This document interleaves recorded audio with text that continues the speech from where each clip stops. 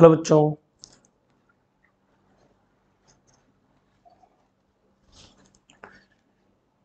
Good morning भाई।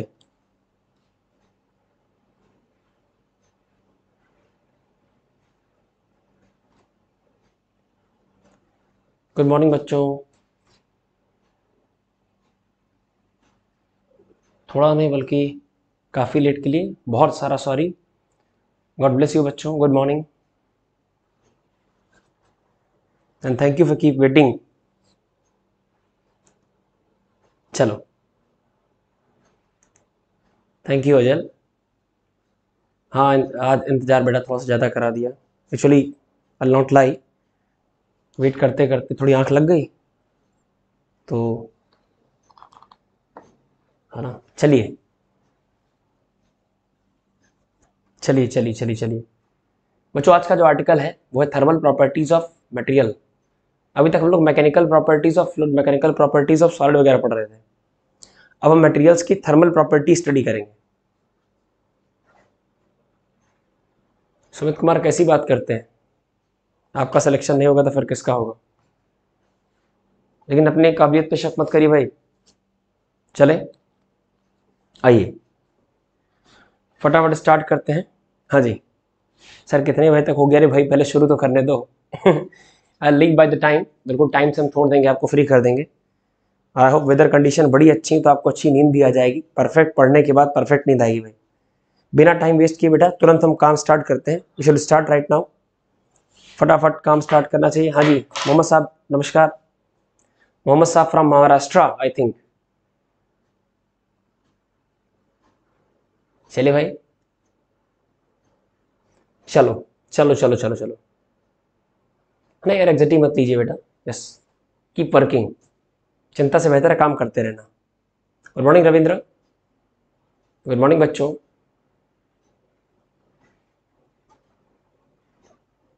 बच्चों audio video बस एक बार रिस्पॉन्स कर दो।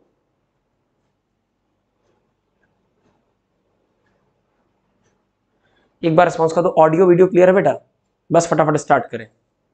इज़ एवरीथिंग फाइन हाँ मैं जबी बेटा। हेलो हेलो, मैं जबी जैद शेख मूवीज़ मूवीज़ ओजल, सुमित कुमार, रविंद्र मौर्य मुनवर हसन साहब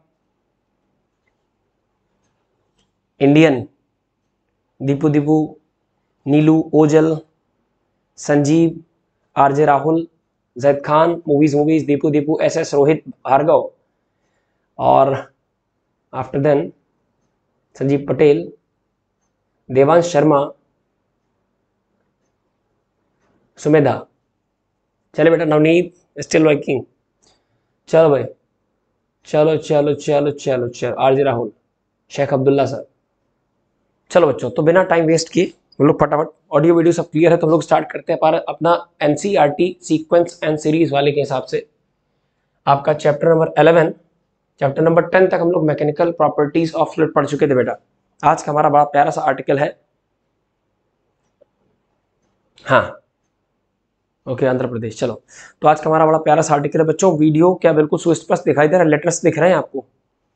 Are you able to see the letters क्या साफ़ साफ़ सब दिखाई दे रहा है बेटा? विजिबिलिटी क्लियर है ना? विजिबिलिटी क्लियर है?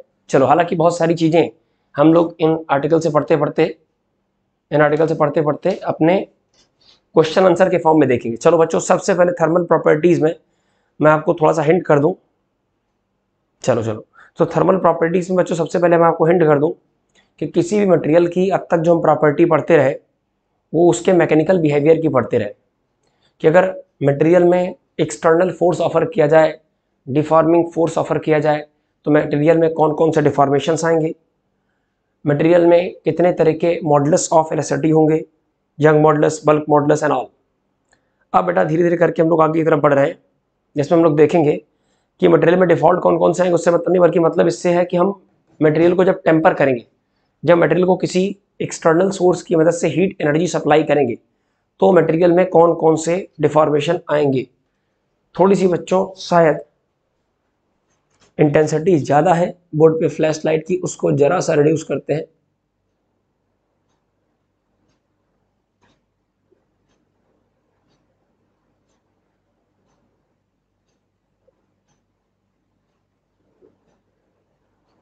हाँ जी, चलिए। चलिए बेटा, चलिए चलिए चलिए। तो बच्चों, सबसे पहले सबसे पहले आपको थोड़ा सा इन ब्रीफ बता दें कि आज हम लोग कहाँ तक काम करने वाले हैं। हालाँकि कोई बहुत फिक्स क्राइटेरिया नहीं अच्छे से डिस्कस करेंगे। सबसे पहले टेम्परेचर एंड हीट हालाँकि बच्चों, ये आपके केवल रिकैप्सुलेशन के लिए है। इस पार्ट का बहुत क्वेश्चन आने वाला नहीं है, लेकिन फिर भी हम एक बार स्केल देख लेंगे हीट का इंपॉर्टेंस देख लेंगे मीजरमेंट ऑफ़ टेम्परेचर देख लेंगे कि टेम्परेचर को नापने के कितने तरीके हैं। Ideal gas equation absolute temperature thermal expansion specific heat capacity calorimetry change of state heat transfer and different law related to the radiation उसमें से न्यूटन्स लॉ ऑलराइट चलो so we should start our study from zero सबसे पहले क्या है? इन्होंने कहा, एक एक एक लाइन तो कम से कम पढ़ना बनता है। अगर हम रिकैप्सुलेशन स्टार्टिंग फ्रॉम एनसीईआरटी कर रहे हैं तो we all have the common sense of notions of heat and temperature हमारे पास हीट की धारणा हीट के बारे में एक बेसिक आइडिया होता है। कि हीट एक ऐसी एनर्जी है जो हमारे बॉडी को थर्मल सेंसेशन कॉज करेगी। जैसे वस्तुओं के सरल भाषा में प्रैक्टिकल भाषा में कहें तो वस्तुओं के गर्माहट या ठंडेपन का अंदाज़ा रहता है। ऑल राइट नेक्स्ट दूसरी बात करें बेटा। ब्राइटनेस थोड़ी सी कम करते हैं बेटा। चलो, एक सेकंड एक सेकंड हाँ मुझे लग रहा था ब्राइटनेस रिड्यूस करते हैं। एक सेकंड बच्चों, एक सेकंड एक सेकंड चलो, अब बिल्कुल पक्का ठीक होगा। उम्मीद करता हूँ बिल्कुल सब सही होगा। चलो चलो चलो चलो चलो। रेडी हाँ जी। अब सुनिए बहुत ध्यान से बेटा। इंटेंसिटी कम कर दी बेटा। चलो। तो we all have the sensation of notation of heat notion of heat and temperature तो टेम्परेचर देखो जो है क्या? कि हीट एक टाइप की एनर्जी है, फटाफट। बिल्कुल आप टू द मीनिंग चलिए, अगर वर्ड के टू द मीनिंग चला जाए। तो हीट एक एनर्जी है। और हीट एनर्जी सप्लाई करके आप बॉडी का टेम्परेचर वेरी कर सकते हो। मतलब कोई बॉडी अपने अंदर अवेलेबल हीट की क्वांटिटी का आइडिया आपको टेम्परेचर की हेल्प से देगी, पहला पॉइंट दूसरा टेम्परेचर इज़ मेज़रमेंट ये देखो लिखा हुआ कि टेम्परेचर किसी वस्तु के हॉटनेस या कूलनेस यानी ठंडेपन या गर्मपन की नाप। लिखा हुआ a kettle with boiling water is hotter than a box containing ice ये बिल्कुल प्रैक्टिकल छोटी सी बात लिखी गई बच्चों वाली कि कोई इलेक्ट्रिक केटल जिसमें गर्म पानी भरा है बॉइलिंग वाटर भरा हुआ है वो आइस वाले कंटेनर के कंपैरिजन में गर्म होगी। नेक्स्ट पॉइंट की तरफ़ बात करें। In the physics we need to define the notion of heat temperature et cetera more carefully हमें हीट के केस में हीट और टेम्परेचर को सेपरेट सेपरेट रखना और सेपरेट सेपरेट पढ़ना आवश्यक है। वजह बता दें उसकी क्या है। हीट एनर्जी है और टेम्परेचर एनर्जी के करस्पॉन्डिंग सेंसेशन है। नेक्स्ट पॉइंट की तरफ़ चलते हैं बेटा। नेक्स्ट पॉइंट की तरफ़ चलते बाकी तमाम सारी बातें दी गई हैं। पर्पस दिए गए हैं कि क्यों हीट और टेम्परेचर को अलग अलग डिफाइन करके दोनों को समझना आवश्यक है। उन्होंने कहा in this chapter you will learn what heat is and how it is measured heat is energy and it is measured by temperature scale ये बता दिया। Study of the various process by which heat flow from one body to other body अलग अलग तरीकों से heat का flow होता है। जैसे, अगर हीट किसी बॉडी की हेल्प से फ्लो होकर के जा रही कंडक्ट करके जा रही तो मेथड ऑफ़ कंडक्शन अगर हीट एटमॉस्फेयर में बिना किसी सराउंडिंग मीडियम के फ्लो हो रही है तो रेडिएशन और अगर हीट एक पॉइंट से दूसरे पॉइंट तक मॉलिक्यूल्स की मदद से चल चल के जा रही, जैसे भगोने में रखा हुआ पानी गर्म करना, उसमें पेंदी गर्म होगी बॉटम गर्म होगा सबसे पहले। बॉटम के जो मॉलिक्यूल्स हैं वो गर्म होंगे। बॉटम के मॉलिक्यूल्स थर्मल करंट बनाते हुए ऊपर आएँगे, उनकी जगह खाली होगी नेक्स्ट मॉलिक्यूल्स उनके प्लेस पर आएँगे, फिर वो गर्म होंगे, फिर वो ऊपर की तरफ़ चलना स्टार्ट कर देंगे। गेटिंग पॉइंट तो कहने का मतलब है कि तीन मेथड है। एक मेथड है इन केस ऑफ़ सॉलिड्स की बात करें अगर तो सॉलिड्स में हीट का फ्लो टेम्परेचर डिफरेंस की वजह से सॉलिड मटेरियल के अंदर होता है। ये कंडक्शन लिक्विड्स के केस में जनरली क्या होता है कि हीट का फ्लो मॉलिक्यूल्स चल चल के करते हैं बफर सिस्टम जैसे है ना? कि मॉलिक्यूल्स आएँगे हीट लेंगे और कैरी करके चले जाएँगे। उनकी जगह खाली होगी नेक्स्ट लोग आएँगे फिर हीट लेंगे फिर कैरी करके चले जाएँगे। कन्वेक्शन मेथड और तीसरा आखिरी मेथड है रेडिएशन रेडिएशन मेथड में हीट के फ्लो के लिए सराउंडिंग के मीडियम की आवश्यकता नहीं होती। गुड मॉर्निंग अभिनव बेटा। चले अब चले बेटा नेक्स्ट पॉइंट की अगर बात करें नेक्स्ट पॉइंट की बात करें इन दिस चैप्टर यू ठीक ठीक ठीक ठीक ठीक हाँ अब देखो जरा। Along the way, you will find out why blacksmith heat the iron ring before fitting it on a rim of wooden wheel of a horse cart बिल्कुल सिंपल सा फैक्टर है, ये थर्मल एक्सपेंशन का इंट्रोडक्शन दे देखो, पहला graph बहुत ज़रूरी है। पहला ग्राफ बिल्कुल बेसिक है।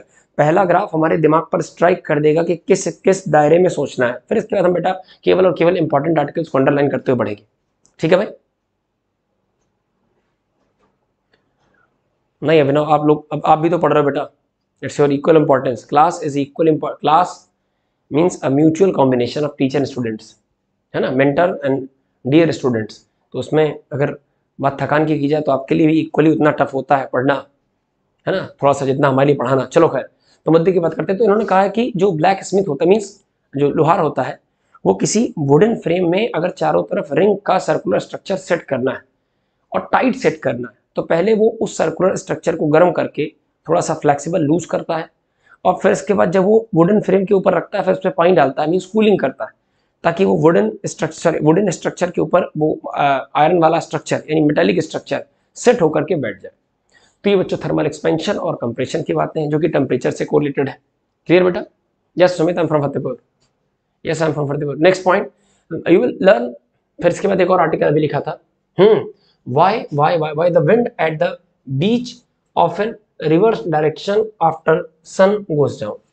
सुबह के वक्त हवा की डायरेक्शन और शाम के वक्त मतलब सी ब्रीज और लैंड ब्रीज ये भी एक तरीका है कि दिन में हाँ, ज़मीन का तापमान गर्म होता है। और ज़मीन का तापमान गर्म होगा मतलब अगर आ, कह सकते हो ग्राउंड टेम्परेचर ज़्यादा होगा हम अगर समुद्र के किनारे की बात करें तो दिन के टाइम छोटा सा डेमो देख लो चूँकि आ ही गया तो इन्होंने एक्चुअली पूरा आइडिया दे दिया।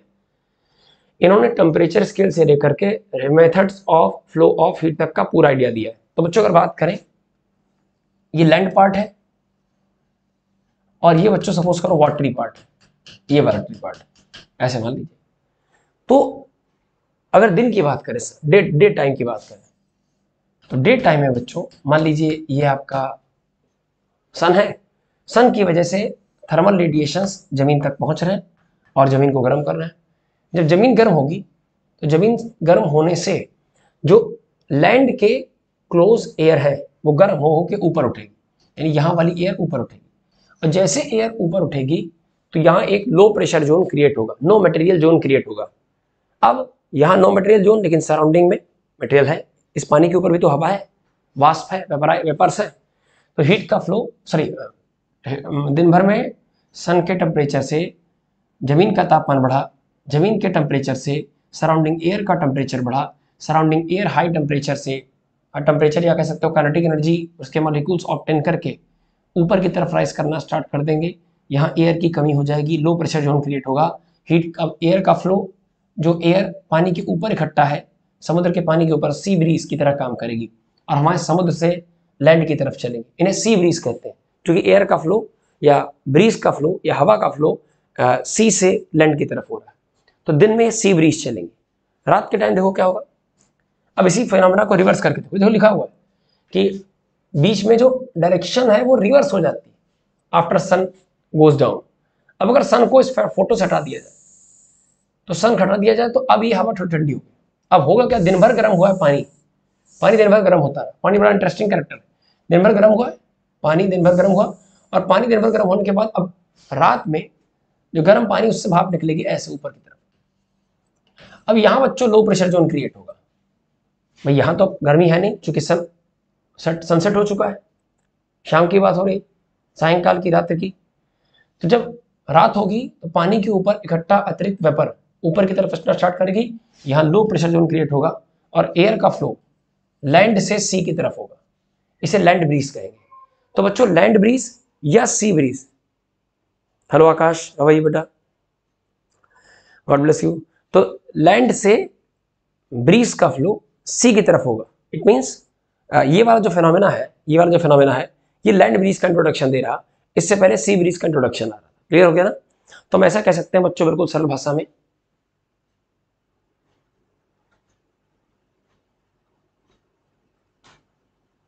क्लियर चलो भाई, बहुत प्यारे, बहुत खूबसूरत। हेलो सुनील हेलो बेटा हेलो जय हिंद। अमरीश कुमार जी, नमस्कार। चले, इतनी बार डन तो बच्चों, यहाँ तक की सारी बातें हमारे मतलब की थी। अब मैं आपसे कुछ पूछता हूँ फटाफट, है ना? आपको थोड़ा सा एक्टिवेट करते हैं, आलस आ रहा होगा आपको। सबसे पहले बता दो टेम्परेचर की कितनी स्केल्स है? बच्चों, याद करो, हम लास्ट फ्राइडे में सारे सेशन कर चुके हैं। अगर आप एक्टिव थे तो जस्ट प्रीवियस फ्राइडे आज से ठीक एक हफ़्ते पहले हीट का मैराथन राउंड हम लोगों ने किया था हीट एंड थर्मोडाइनमिक्स में। इसमें पूरी हीट देखी थी। तकरीबन चार घंटे का सेशन था वो भी। तो आपसे फ़र्स्ट पूछूँगा हाँ कि कैसे आप किसी भी आर्टिकल में या किसी भी सब्सटेंस के हीट के हीट के कह सकते हो हीट के मेज़रमेंट के लिए हमारे पास कितने मेथड्स है बेटा? हमारे पास तीन स्किल्स है। कौन कौन सी स्किल्स है? एक तो हमारे पास है डिग्री सेल्सियस, दूसरी फॉरनहाइट और तीसरी केल्विन जनरली तीनों को कोरिलेट करने का जनरल फार्मूला क्या है? तो बहुत टाइम वेस्ट न करते हुए फटाफट आपको बता दें कि हम तीनों स्केल्स को कोरिलेट कर सकते हैं।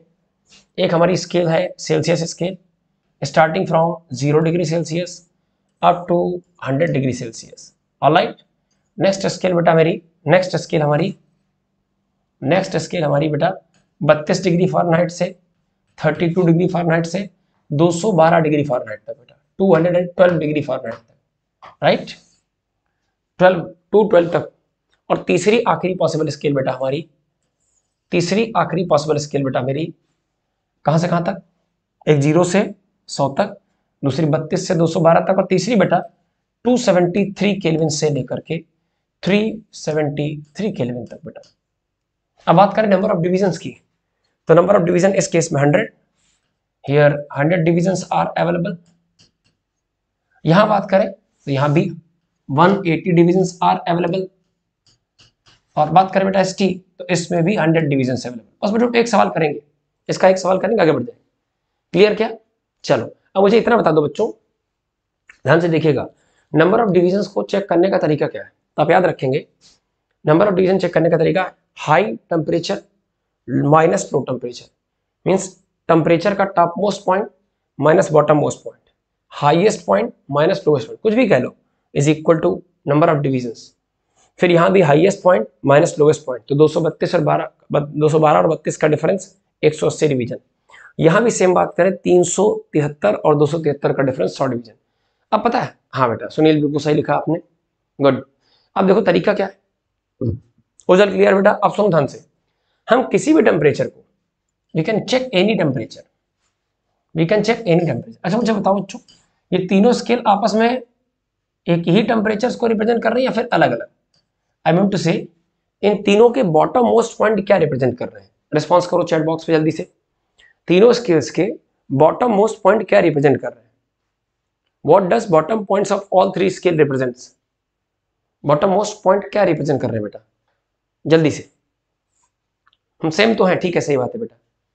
बॉटम मोस्ट पॉइंट क्या रिप्रेजेंट कर रहे हैं? मुझे टेक्निकली बताना बेटा। बॉटम मोस्ट पॉइंट क्या रिप्रेजेंट कर रहे हैं बेटा? What is zero degree Celsius define for the water मतलब वाटर के लिए डिफाइन करो। हम लोगों ने हीट का जो कह सकते हो मैराथन सेशन किया था, उसमें भी यही पढ़ा था। हाँ इसे हम लोग क्या कहते हैं? हाँ यस यस यस पर इसे फ्रीजिंग पॉइंट फ्रीजिंग पॉइंट या मेल्टिंग पॉइंट दोनों बातें कह सकते हो बेटा, दोनों बात फ्रीजिंग पॉइंट या मेल्टिंग पॉइंट क्यों? क्योंकि यही वो टेम्परेचर है, यही वो टेम्परेचर है जिसमें वाटर फ्रीज होकर के आइस कन्वर्ट हो जाएगा। या यही वो टेम्परेचर है जिसमें आइस मेल्ट होकर के वापस से वाटर में कन्वर्ट हो जाएगी। तो this the temperature level where इधर वाटर फ्रीजेस इन आइस और ice just melt in water तो मेल्टिंग पॉइंट या फ्रीजिंग पॉइंट दोनों कह सकता है। टॉप मोस्ट पॉइंट का नाम बताओ। वाटर के रेफरेंस के हिसाब से बेटा हाँ lowest temperature possible no movement of any particle yes बेटा। नहीं no movement of any particle वो एब्सोल्यूट ज़ीरो टेम्परेचर पर होता है। ज़ीरो केल्विन पर होता है बेटा। ज़ीरो केल्विन एक ऐसा टेम्परेचर है जिससे छोटा टेम्परेचर पॉसिबल नहीं है। मिनिमम पॉसिबल टेम्परेचर इस ब्रह्मांड में ज़ीरो केल्विन है, जिसे माइनस दो डिग्री भी कह सकते हो, माइनस दो उस टेम्परेचर पर जो मॉलिक्यूल्स होते हैं, उनका मूवमेंट बिल्कुल स्टॉप हो जाता है। ठीक है बेटा? हाँ इट इज़ बीपी। एक और नाम इसका बेटा। इसे आप बीपी भी कह सकते हो, बॉइलिंग पॉइंट भी कह सकते हो। इसे आप बच्चों कंडेंसेशन पॉइंट भी कह सकते हो। क्योंकि बच्चों, इसी टेम्परेचर पर वाटर बॉयल होकर के वेपर में कन्वर्ट होगा, and at the same temperature. मेरी बात समझिए, बहुत धैर्य से। ये वो टेम्परेचर है जिसमें वाटर वेपर में कन्वर्ट होगा या वेपर जस्ट कंडेंस होकर के वाटर में कन्वर्ट होगी। ऑल राइट क्लियर है क्या बेटा? चलो, बहुत बढ़िया। इसको कंडेंसेशन पॉइंट बोलोगे? It is boiling point as well as condensation point of सुनो बॉइलिंग पॉइंट ऑफ़ वाटर और कंडेंसेशन पॉइंट ऑफ़ स्टीम ये freezing point of water and melting point of ice एक ही बात है बेटा। हम प्रोसेस को वाइस वर्षा करके देख रहे हैं बेटा। क्लियर ऑल राइट किसी के मन में कोई डाउट तो नहीं? चलो, बहुत खूबसूरत। नेक्स्ट पॉइंट की तरफ़ चलते बेटा। हाँ इसे अगर हम कोरिलेट करना चाहें कोरिलेट करना चाहें टेम्परेचर स्कोर को देखना चाहें तो बच्चों any temperature minus lowest temperature upon highest temperature minus lowest temperature ये सेल्सियस के लिए था। फिर देखो बेटा इस तरीके से। एनी टेम्परेचर फॉरनाइट के लिए। माइनस फॉरनाइट का lowest temperature upon highest temperature highest कितना बेटा? Highest temperature minus lowest temperature clear है क्या? लास्ट वाला any temperature minus lowest temperature upon highest temperature minus lowest temperature ये स्केल बनाने का तरीका मान लो कोई हमारे पास रैंडम स्केल आ जाए, ऐसी स्केल आ जाए बेटा। हमने ये भी पहले भी कहा है कि अगर डब्ल्यू नॉट है और ये डब्ल्यू मैक्स है और यहाँ एनी टेम्परेचर डब्ल्यू है, इस स्केल को भी आप इनसे कंपेयर कर सकते हो। कैसे? Any temperature any temperature minus lowest temperature lowest temperature upon highest temperature W max minus lowest temperature बेटा तो हम इस फॉर्मूला मतलब ये कोरिलेशन है, ये फार्मूला नहीं फार्मूला तो अब बना। कोरिलेशन कोरिलेशन कोरिलेशन कोरिलेशन से फार्मूला बना। सारी स्केल्स हम लोगों ने क्या करी? हाँ vapour pressure water is equal to atmosphere हाँ। और जो वाटर का वेपर प्रेशर होता है, वो atmospheric pressure means one ATM की इक्वल होगा बेटा। नहीं, पंकज मिश्रा जी, हम सो के नहीं आते। आज बाई चांस सो गए थे। चलिए। और आवाज़ थोड़ा सा खुलने में वक्त लगता है बेटा। किसी भी लेक्चर को रैपिड फायर बनाने के लिए थोड़ा सा हाँ थोड़ा सा डिफरेंस है। चलो। चले चले। अब जरा सुनो बेटा। इतनी बात क्लियर अब आप चाहो तो नीचे कैलकुलेशन कर सकते हो। जैसे हंड्रेड और ज़ीरो का डिफरेंस हंड्रेड आएगा। सिमिलरली दो सौ बत्तीस, एक अस्सी का डिफरेंस दो सौ बत्तीस, दो सौ बारह, बत्तीस का डिफरेंस एक अस्सी आएगा। तीन तिहत्तर, दो सौ तिहत्तर का डिफरेंस सौ आ जाएगा। अब चाहो तो नीचे वाले नंबर को चूँकि सब सब जगह इक्वलिटी है तो किसी वही प्रपोर्शन बन गया एक तरीके से। तो आप चाहो तो किसी कॉमन नंबर से एलिमिनेट करो तो 20 से काटोगे तो 20 पंचे सौ। बीस से काटोगे तो बीस नया एक सौ अस्सी। बीस नया एक सौ अस्सी, और 20 से ही काटोगे तो 20 पंचे सौ। तो ये जनरल फार्मूला हम लोग को याद होता है कि C by five is equal to minus बत्तीस by now is equal to K minus दो सौ तिहत्तर अपॉन पाँच क्लियर बेटा? अब जरा सुनो, अब जरा सुनो। हम अगर आपसे कहें, चलो ये बात क्लियर है ना? हम आपसे बेटा अगर कहें, अगर मैं आपसे कहूँ बेटा, कि सेल्सियस और फॉरनाइट के बीच कोरिलेशन कैसा है तो आप कहोगे, सर, सेल्सियस, या ऐसा कहते कि फॉरनाइट को सेल्सियस में कन्वर्ट करो। फॉरनाइट को सेल्सियस में कन्वर्ट करो। हमने कहा, ये दोनों बातें पर्याप्त है। हमको इन्फॉर्मेशन अगर सेल्सियस की मिल जाए, एक इन्फॉर्मेशन मिल जाए, दूसरी हम फाइंड आउट कर लेंगे, क्योंकि हमें कोरिलेशन पता है। एफ़ को क्रॉस एफ़ को केले रखो क्रॉस मल्टीप्लाई ना क्रॉस मल्टीप्लाई करो nine by five times of C nine by five times of C is equal to F minus बत्तीस। शिफ्ट करो बेटा एफ़ बराबर कितना आ जाएगा? Nine by five times of C और माइनस बत्तीस कन्वर्ट हो जाएगा प्लस का बत्तीस में। बहुत ध्यान से देखना बेटा, अगर मैं ग्राफ ड्रॉ करना चाहूँ, और ग्राफ में वाई एक्सेस एक्स एक्सेस में ड्रॉ करूँ बेटा चेक करना यार। तो मेरे बताओ ग्राफ का एटीट्यूड कैसा होगा? इज़ इट अ कर्व और स्ट्रेट लाइन रिस्पॉन्ड करो। रिस्पॉन्ड करो कर्व है कि स्ट्रेट लाइन है। और अगर स्ट्रेट लाइन है तो इस स्ट्रेट लाइन का स्लोप क्या है? इस स्ट्रेट लाइन का स्लोप क्या है बेटा? ग्राफ को रिस्पॉन्स करो कि क्या ये स्ट्रेट लाइन है कर्व है? और अगर ये कर्व है तो इसका स्लोप क्या है? अगर ये स्ट्रेट लाइन है तो इसका स्लोप क्या है बेटा? तो बच्चों का जैसा कि मुझे लग रहा है, बिल्कुल सही माइंडसेट बन रहा है कि वन वन पावर का रिलेशनशिप है। सिंगल सिंगल पावर का। सिंगल यस बेटा यस ऑल राइट भाई फॉरनाइट की सिंगल पावर सेल्सियस की सिंगल पावर से कनेक्टेड है. वन वन पावर के रिलेशनशिप को हम लोग लीनियर रिलेशनशिप कहते हैं. ये स्ट्रेट लाइन ही होगा बेटा. और जहाँ तक रही बात इसके स्लोप की तो स्लोप का मतलब होता है, अगर आप इस फ़िज़िकल प्रॉपर्टी को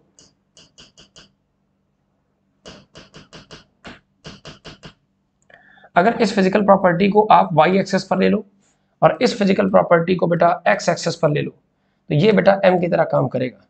और रिज़ल्ट क्या बन जाएगा? वाई बराबर M X plus minus C all right बन जाएगा बेटा y बराबर M X plus minus C मेरी बात समझना बहुत धैर्य से, बहुत धैर्य से। y बराबर M X plus minus C के हिसाब से क्या चलेगा? कि y एक्सेस पर अगर फॉरनेट को ले लिया जाए, आइए देखते हैं क्या फ़र्क पड़ता है। y एक्सेस पर अगर फॉरनेट को ले लिया जाए, x एक्सेस पर सेल्सियस को ले लिया जाए, x एक्सेस पर सेल्सियस को और वाई एक्सेस को फॉरनेट को। जैसे वाई की वन पावर एक्स की वन पावर पर डिपेंडेंट हो तो लीनियर ग्राफ आएगा। वैसे फॉरनाइट की वन पावर सेल्सियस की वन पावर पर डिपेंडेंट है। तो ये एक लीनियर ग्राफ होगा।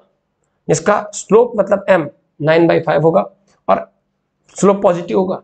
स्लोप पॉजिटिव मतलब जो लाइन होगी उसका एक्स एक्सेस से बनने वाला एंगल यानी थीटा 90 से कम होगा। और जो इंटरसेप्ट पार्ट है बेटा 32 वो भी पॉजिटिव है। तो जो ग्राफ है, वो ओरिजिन के ऊपर से जाएगा। तो graph will go like this getting मेरी बात समझो? अब आप बारी बारी से सारी बातें रिस्पॉन्स कर सकते हो। कैसे? हॉरिजॉन्टल से हॉरिजॉन्टल से जो ग्राफ का स्लोप बन रहा है। स्लोप ऑफ़ दिस ग्राफ ये स्लोप है। स्लोप का मतलब स्लोप कह लो या स्लोप को टेन थीटा कह लो। That is equal to nine by five और इंटरसेप्ट पार्ट की बात करें so this intercept part is thirty two clear है क्या? ठीक है बेटा।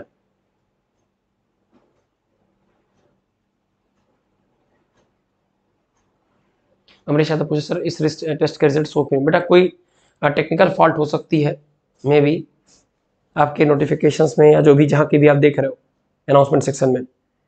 बाकी रिज़ल्ट तो वैसे सब बच्चों को मिल रहा है, किसी की तरफ़ से कोई कंप्लेंट नहीं है।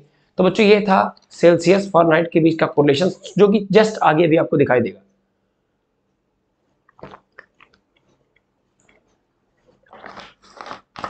चलिए। हाँ जी। आगे बढ़ते हैं बेटा नेक्स्ट पॉइंट की तरफ़। थर्टी टू तो नेगेटिव एक्सेस में आएगा। कुछ गड़बड़ तो नहीं किया क्या बेटा भाई nine by five C plus thirty two आ जाएगा। नहीं नहीं बेटा, अब इसको इधर शिफ्ट कर दिया ना। मतलब असल बात पता क्या है? अरे, इस बात को कोलेट करके देखो यार, कि जब सेल्सियस ज़ीरो पर होता है at the same time Fahrenheit की शुरुआत बत्तीस से होती है। सेल्सियस का ज़ीरो फॉरनेट के बत्तीस कंपेयर ग्राफ ऐसे ही जाएगा। क्लियर ना? तो स्ट्रेट लाइन ग्राफ होगा। कैसा होगा? आप समझ के कट कर दे बेटा इसे। अब देखिए। नेक्स्ट पॉइंट की तरफ़ चलो। ये कोरिलेट किया है। और यही एनसीईआरटी के एग्जाम्पलों में एक बड़ा प्यारा सा ग्राफ दिया है। एनसीईआरटी के एग्जाम्पलों में एक बड़ा प्यारा सा ग्राफ है बेटा। है ना देखिए जरा समझिए। है क्या कि आप इस, इसको देख करके ग्राफ डिज़ाइन कर सकते हैं। ये वही चीज़ है जो भी उन्हें बनाई थी। ये वही चीज़ जो हम लोगों ने डिस्कस करी। भाई हमने कहा कि सेल्सियस यहाँ ले लो। फॉरनेट यहाँ ले लो। तो लाइन ग्राफ तो ऐसे ही जाएगा ना। एक्सटेंड कर दो। भाई उन्होंने थोड़ा डिटेल बना दिया। ग्राफ वही है जो पहले बना था। जस्ट प्रीवियस ग्राफ अभी हम लोगों ने जो डिस्कस किया था। डेमो दिखाते हैं। सेल्सियस का मामला जब ज़ीरो पे होगा तो फॉरनेट की शुरुआत बत्तीस से होगी। ग्राफ का स्लोप 90 से कम होगा। थीटा लेस देन 90 होगा। थीटा पॉजिटिव होगा बेटा। इंटरसेप्ट ऊपर से जाएगा। तो मैं सिर्फ़ इस लाइन की रिलेशन पूछूँ तो आ जाएगा वाई एक्सेस फॉर फॉरनाइट बराबर positive slope nine by five X axis quantity Celsius और प्लस का शुरुआत बत्तीस से। ये ग्राफ बन जाएगा। क्लियर है क्या बेटा? ये स्ट्रेट लाइन का हमने इक्वेशन डेवलप कर दिया। और लाइट नेक्स्ट पॉइंट की तरफ़ चलते हैं बेटा। फिर ये था मेज़रमेंट ऑफ़ टेम्परेचर टेम्परेचर को हम ऐसे मेज़रमेंट कर सकते हैं। देखिए एफ़ माइनस इन्होंने टी एफ़ पर वर्ड इस्तेमाल किया। घबराने की आवश्यकता नहीं है। हम एफ़ माइनस बत्तीस अपॉन एक सौ अस्सी लिखते हैं। इन्होंने टी एफ़ माइनस बत्तीस अपॉन एक सौ अस्सी बराबर टी सी अपॉन हंड्रेड लिखा है। बराबर टी के माइनस दो सौ तिहत्तर अपॉन सौ भी लिखा जा सकता है। ऑल क्लियर चलो। आइडियल गैस इक्वेशन और एब्सोल्यूट टेम्परेचर की अगर बात करें तो बच्चों आइडियल गैस इक्वेशन हालाँकि इन्होंने कुछ बातें इंट्रोड्यूस की हैं। हम उस बात को सीधे डिटेल में लेके चलेंगे और इक्वेशन का सीधा फॉर्मेट दिखाते हैं आपको। इतमान से देखते चलिए। सारे एनसीईआरटी e के छोटे छोटे पॉइंट कवर करते चलो कि किसी भी कंटेनर के पास अगर वो थर्मोडाइनमिक सिस्टम का पार्ट है, फिर से रिपीट करने बेटा। अगर कोई कंटेनर थर्मोडाइनमिक सिस्टम कहलाना चाहता खुद को तो उसके पास तीन करेक्टर तो होने ही चाहिए। Is if anyone a system wants good morning रोशे जय हिंद साहब। अब मेरी बात सुनो। अगर ये सिस्टम दावा कर रहा है कि एक थर्मोडाइनमिक सिस्टम है तो इस बात का मतलब इसके पास थर्मल प्रॉपर्टीज़ होंगी। या ऐसा कह सकते हो किसी सिस्टम को या किसी सिस्टम की थर्मोडाइनमिक कंडीशंस को एक्सप्रेस करने के लिए। एक्सप्रेस करने के लिए है ना? हम आ, तीन थर्मोडाइनमिक वेरिएबल का नाम ले सकते हैं। First one is pressure volume and temperature PVT clear है ना? रिस्पॉन्ड करो जरा सा। हमारे पास तीन थर्मोडायनेमिक वेरिएबल है बेटा। We have three thermodynamic variable and these variables are pressure volume and temperature all right clear है क्या? चलो एक बात और बता दो बेटा। एक बात और बता बेटा। अगर प्रेशर वॉल्यूम टेम्परेचर की बात करें बहुत धैर्य सुनना। हमारे पास तीन थर्मोडायनेमिक वेरिएबल और तीनों थर्मोडायनेमिक वेरिएबल में प्रेशर वॉल्यूम टेम्परेचर और तीनों को कोरिलेट करने की बात करें बेटा। अगर कोरिलेट करे तो कोरिलेट करने का तरीका ये लिखा ये देखिए, क्या लिखा जरा पढ़ के दिखाओ। Pressure multiplication by pressure multiplied by volume is equal to mu times of R multiply by T मतलब मतलब मतलब। ये तो आइडियल गैस इक्वेशन है। इसको कैसे ड्राइव किया, कहाँ से है, कोई मतलब नहीं। सोर्स ऑफ़ ओरिजिन जानने की आवश्यकता नहीं। एप्लीकेशन आवश्यक है। लिखा हुआ P V is equal to mu R T pressure volume का product mu times means number of number of moles times R gaseous constant into T absolute temperature के बराबर होता है। क्लियर है? क्लियर है? हम टर्म ढूंढ रहे हैं बेटा। प्रोपोर्शनल टेम्परेचर लिखा क्या उन्होंने कोई बात नहीं। क्लियर है? अब देखो बेटा, एक बात और सीखो। हम कैसे इस्तेमाल करेंगे इसे आगे समझो तो तीन वेरिएबल एक इक्वेशन में आ रहे हैं। दो चीज़ें आपस में कनेक्ट होती हैं, वो तो समझ में आता है। दो चीज़ें आपस में कनेक्ट होती हैं, ये तो समझ में आता है। कि मान लिखा वाई बराबर थ्री एक्स वाई बराबर थ्री एक्स से लिखा है।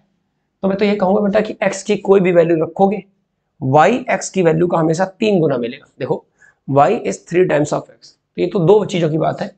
एक वेरिएबल है, एक डिपेंडेंट है। अब ऐसी परिस्थिति में तीसरे को कांस्टेंट होना चाहिए। आप दो चीज़ों का कोरिलेशन तभी अध्ययन कर सकते हैं। पढ़ तभी सकते हैं, सोच तभी सकते हैं बेटा, जब कम से कम दो चीज़ें आपस में कनेक्टेड हो, तीसरा कोई इंटरफेयर करने वाला ना हो बेटा।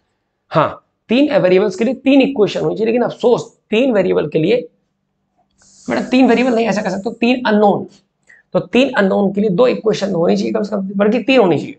हम एक से काम चला लेंगे, लेकिन देखो क्या चलाएँगे, तरीका क्या है। पीवी बराबर एनआरटी में आदत डालो। बेटा पूछेंगे अभी रेडी रहिए?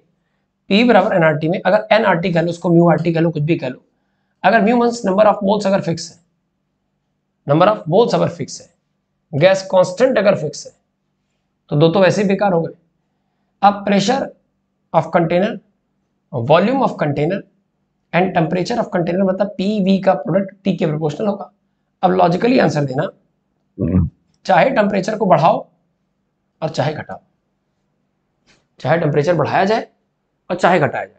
टेम्परेचर के बढ़ाने या घटाने से कोलिशन क्या है? टी के बढ़ाओ या घटाओ।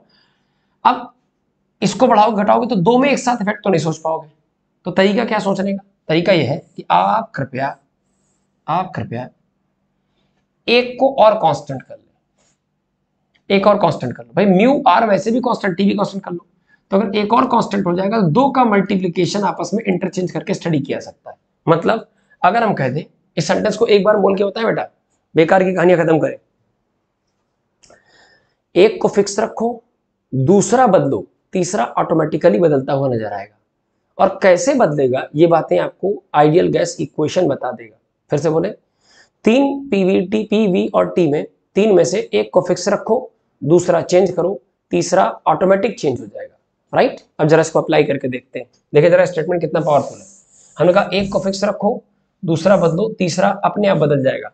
तो आइए सिस्टम में जरा कुछ फिक्स करके देखते हैं और देखते हैं जरा आप जरा कौन सा लॉ लागू हो रहा है। राइट आइए। तो हम चले बेटा सबसे पहले बॉयल साहब की बातें करने। तो बॉयल साहब का लॉ और चार्ल्स लॉ बड़े फ़ेमस लॉ है। और इसके लिए याद कीजिए अगर रैपिड फायर ऑफ़ हीट किया था आपने लास्ट फ्राइडे को तो आपको याद होगा बाटा की चप्पल बीटीसीपी हमने याद कराया था। बीटीसीपी बाटा की चप्पल। ऐसे फ़ायदा क्या होगा? हम अक्सर होता क्या कि कंफ्यूजन होता है बच्चे भूल जाते हैं। कि कौन सा लॉ कब कैसे अप्लाई करें? तो बॉयल्स में टेम्परेचर फिक्स होगा और चार्ल्स में प्रेशर फिक्स होगा। तो अगर बच्चों हम लोग बॉयल्स लॉ की स्टडी करना चाहते हैं if you want to study Boyle's law तो बॉयल्स लॉ क्या कहता है? बॉयल्स लॉ कहता है कि अगर टेम्परेचर को कांस्टेंट कर दिया जाए if temperature is kept constant तो बच्चों म्यू तो वैसे भी कांस्टेंट आर कांस्टेंट टेम्परेचर भी कांस्टेंट तो पी वी का प्रोडक्ट कांस्टेंट तो बेटा पी मल्टीप्लाई बाई वी बराबर कांस्टेंट होगा। दो फ़िज़िकल प्रॉपर्टीज़ का मल्टीप्लीकेशन अगर कांस्टेंट आ रहा अगर दो फ़िज़िकल प्रॉपर्टीज़ का मल्टीप्लीकेशन एक कांस्टेंट नंबर नंबर डेवलप हो रहा तो इसका मतलब प्रेशर इज़ इक्वल टू बेटा कांस्टेंट अपॉन वॉल्यूम बन जाएगा।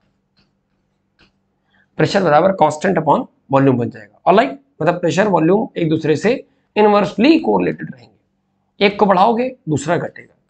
ग्राफिकल बात करेगा। इसी चीज़ की सारा कैरेक्टर मिल जाएगा। ग्राफिकल बात करोगे बेटा तो एक एक्सेस पर वॉल्यूम एक पर प्रेशर आपने कहा, सर, ये दोनों इनवर्सली है एक बढ़ेगा दूसरा घटेगा रेक्टेंगुलर हाइपर बोला आएगा डेप्रिशिएट करता हुआ।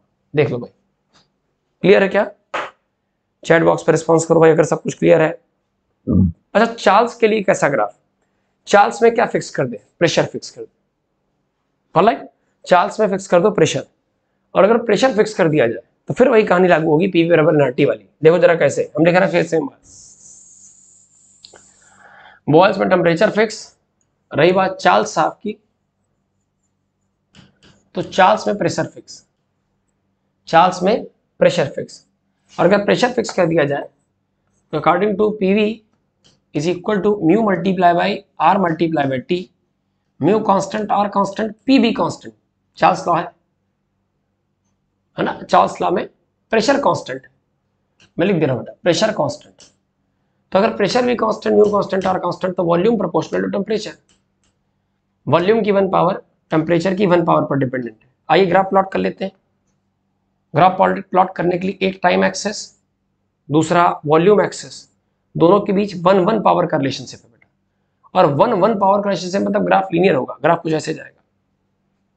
क्लियर किसी के मन में कोई डाउट तो नहीं भाई? किसी के मन में कोई डाउट तो नहीं बेटा? अब जरा सुनो बेटा। बहुत बढ़िया बहुत बढ़िया। अब जरा सुनो बेटा। अच्छा किसी भी ग्राफ में कितनी बातें काम की होती हैं? How many articles are to be discussed in a graph किसी ग्राफ में हम क्या क्या डिस्कस कर सकते हैं बेटा? किसी के मन कोई डाउट हाँ चलो भाई। किसी भी ग्राफ में कितनी बातें काम की बेटा? किसी ग्राफ में कितनी बातें काम की? बोलना पड़ेगा यार। किसी ग्राफ में कितनी बातें काम की? बोलो बोलो। अरे राजीव, पढ़ाने दो भाई। हाँ। राजीव कह रहे सो जाइए सर। चलो, सुनो। किसी ग्राफ में, किसी ग्राफ में दो बातें काम की। दो टू आर्टिकल्स यूजफुल एक ग्राफ का स्लोप और दूसरा ग्राफ का एरिया स्लोप और बेटा एरिया दोनों।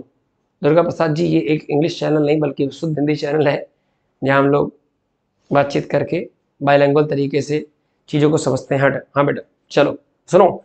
किसी भी ग्राफ में ग्राफ में दो बातें काम की। भाई, ऐसा नहीं समझो। ग्राफ का स्लोप एक तो ये काम का होता। है और दूसरा, ग्राफ के अंडर फंसने वाला एरिया अब स्लोप क्या है? स्लोप क्या है?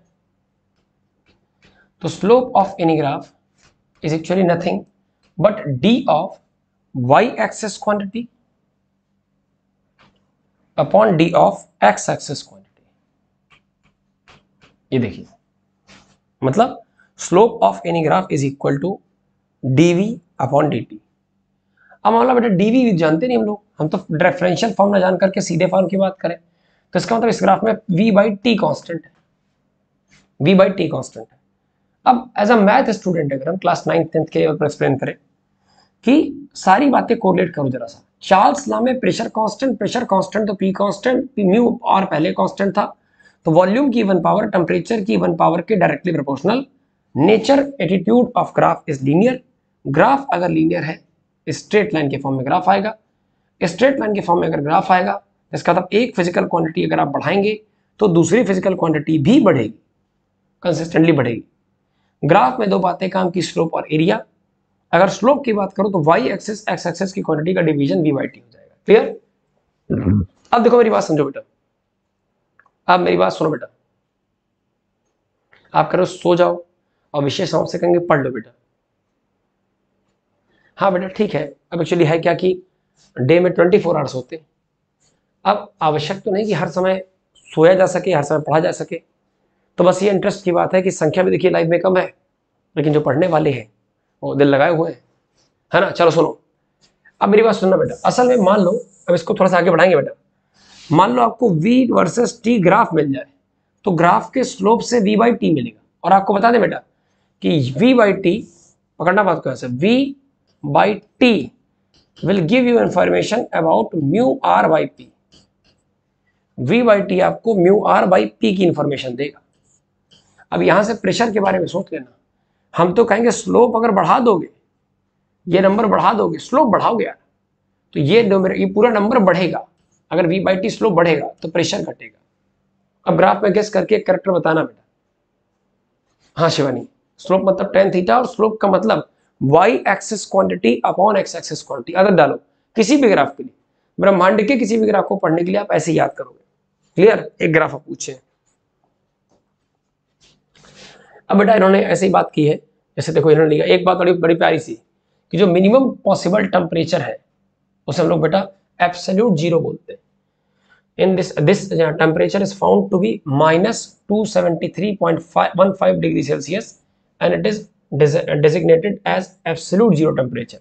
Absolute zero is a foundation of Kelvin temperature scale or absolute scale temperature and it is very difficult to obtain this, this level of temperature और ये बिल्कुल असंभव है आप ज़ीरो केल्विन कह सकते हो माइनस दो कह सकते हो या माइनस चार डिग्री फारेनहाइट कह सकते हो लिखा हुआ है कि the size of unit of Kelvin और size of unit of Celsius same है कैसे कोई खास बात थोड़ी है सेल्सियस में भी सौ खाने, देखो दो सौ तिहत्तर पॉइंट वन फाइव से तीन सौ तिहत्तर पॉइंट वन फाइव में, और सेल्सियस में भी सौ खाने, ज़ीरो से लेकर सौ तक। तो इसका एक एक खाना, इसके एक एक खाने के बराबर है। लेकिन फॉरनहाइट से कोरिलेट करोगे तो यहाँ डिफरेंस एक अस्सी का है। तो इसके सौ खाने बराबर, इसके सौ खाने बराबर, इसके एक सौ अस्सी खाने। सौ से डिवीज़न करो सब में तो इसका एक खाना, इसका एक खाना, इसका वन पॉइंट एट खाना। Means one division of cell Kelvin, is same as one division of degree Celsius is same as one division of degree Fahrenheit all right clear है क्या? चलो। आप जरा बात करते हैं बेटा। और देखो जरा सा, जैसे तीन चार गैसें इनकी बात की है ए का टेम्परेचर बी का टेम्परेचर तो बेटा ऐसे ग्राफ से ग्राफ बना के पूछें इन जनरल रिस्पॉन्ड करना। चलो, इसी ग्राफ में से एक ग्राफ बना के हम पूछते हैं। इन्हीं ग्राफ में से हम आपसे एक ग्राफ बना के पूछते हैं कि मान लीजिए बच्चों हमारे पास ये वाई एक्सेस ये वाला बेटा मेरा एक्स एक्सेस इस वाले पे मान लो बेटा वॉल्यूम वी है और इस वाले पे प्रेशर पी है। राइट वॉल्यूम बढ़ेगा प्रेशर घटेगा। आप समझ गए कि P inversely proportional to V है। प्रोपोर्शनलिटी घटाओगे तो कांस्टेंट आएगा। तो P बराबर constant times of V cross multiply करो एम्प्लॉयज़ P और V का मल्टीप्लीकेशन कांस्टेंट है। क्लियर ना?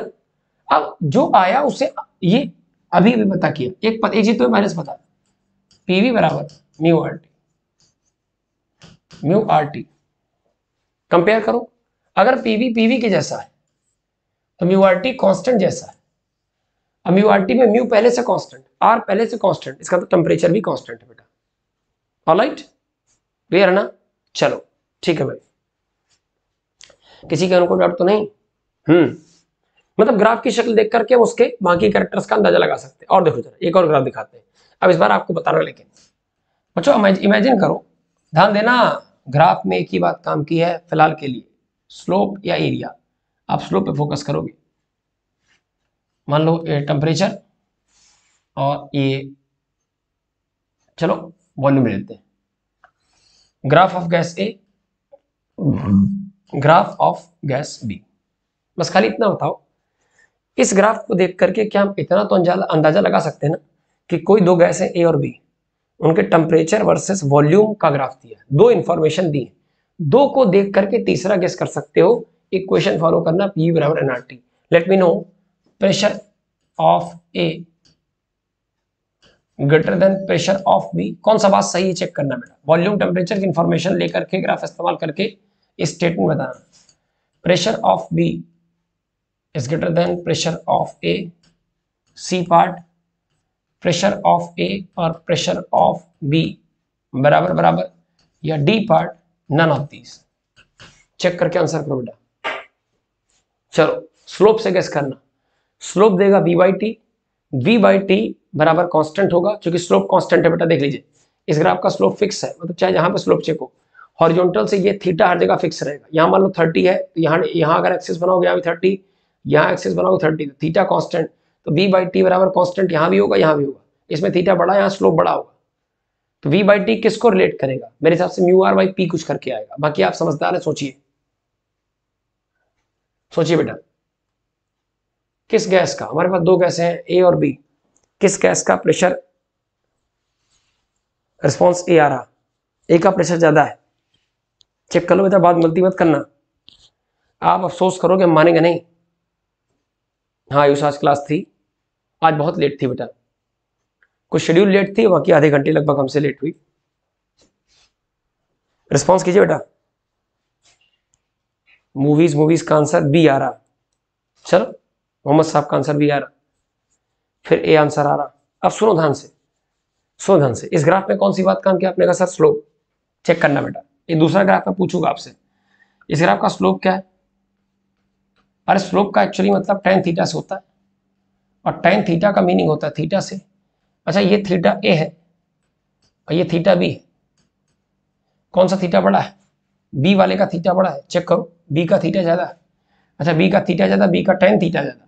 तो बी का स्लोप ज़्यादा। तो मैं लिख सकता हूँ बेटा slope of B slope of B ज़्यादा है as compare to slope of A slope of B ज़्यादा है as compare to slope of A अच्छा मुझे इतना बताओ स्लोप होता क्या? तो आपने कहा, sir nothing it's Y axis quantity upon X axis quantity तो V by T of B ज़्यादा है v by T of A all right और v बाई टी किसकी इंफॉर्मेशन देगा? आपने कहा, सर, अगर आइडियल गैस इक्वेशन की मदद जो कि हर एक के लिए सत्य है तो पी वी बराबर म्यू आर टी के हिसाब से v के नीचे अगर t को ले आओ so v by T is nothing but it is equal to mu R by P mu R by P तो v बाई टी अगर कांस्टेंट है बेटा आई रिपीट अगर v by T V by T B का बड़ा है तो v by T को रिप्लेस कर सकते हो म्यू आर बाई पी से। तो यहाँ मैं लिख रहा हूँ बेटा mu R by P of B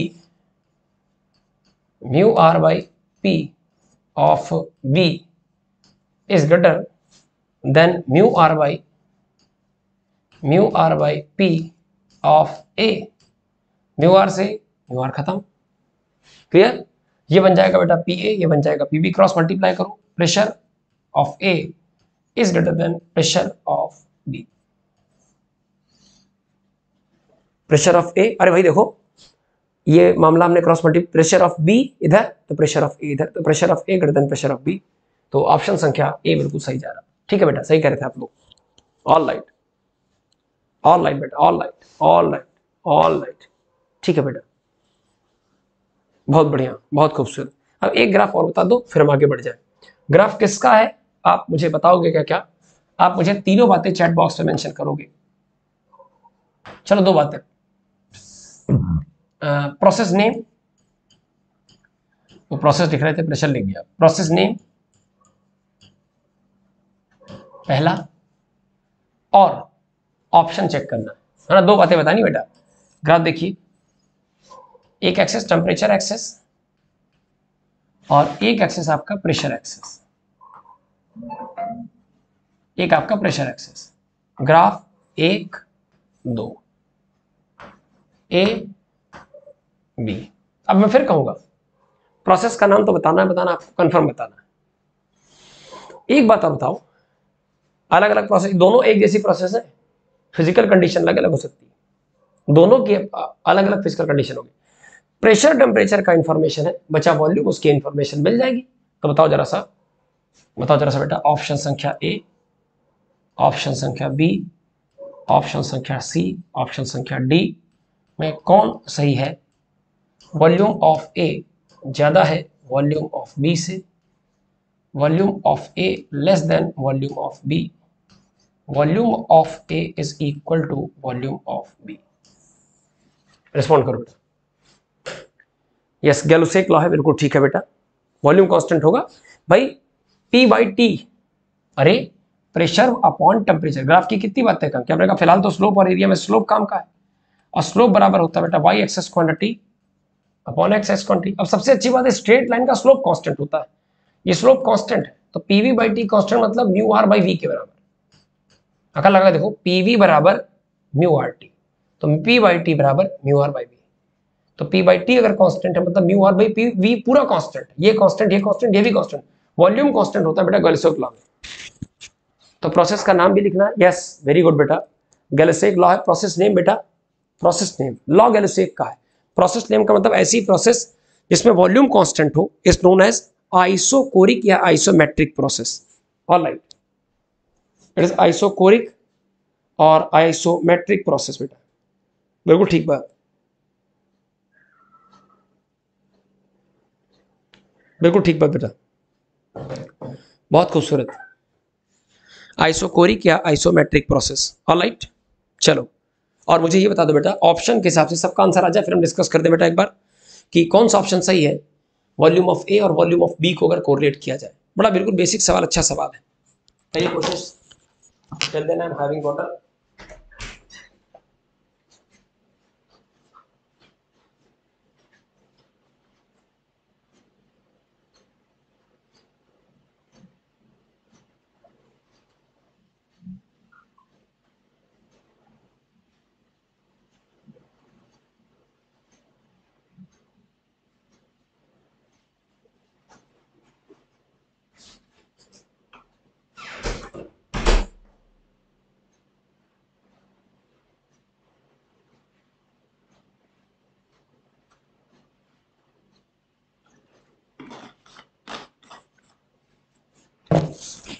हाँ भाई।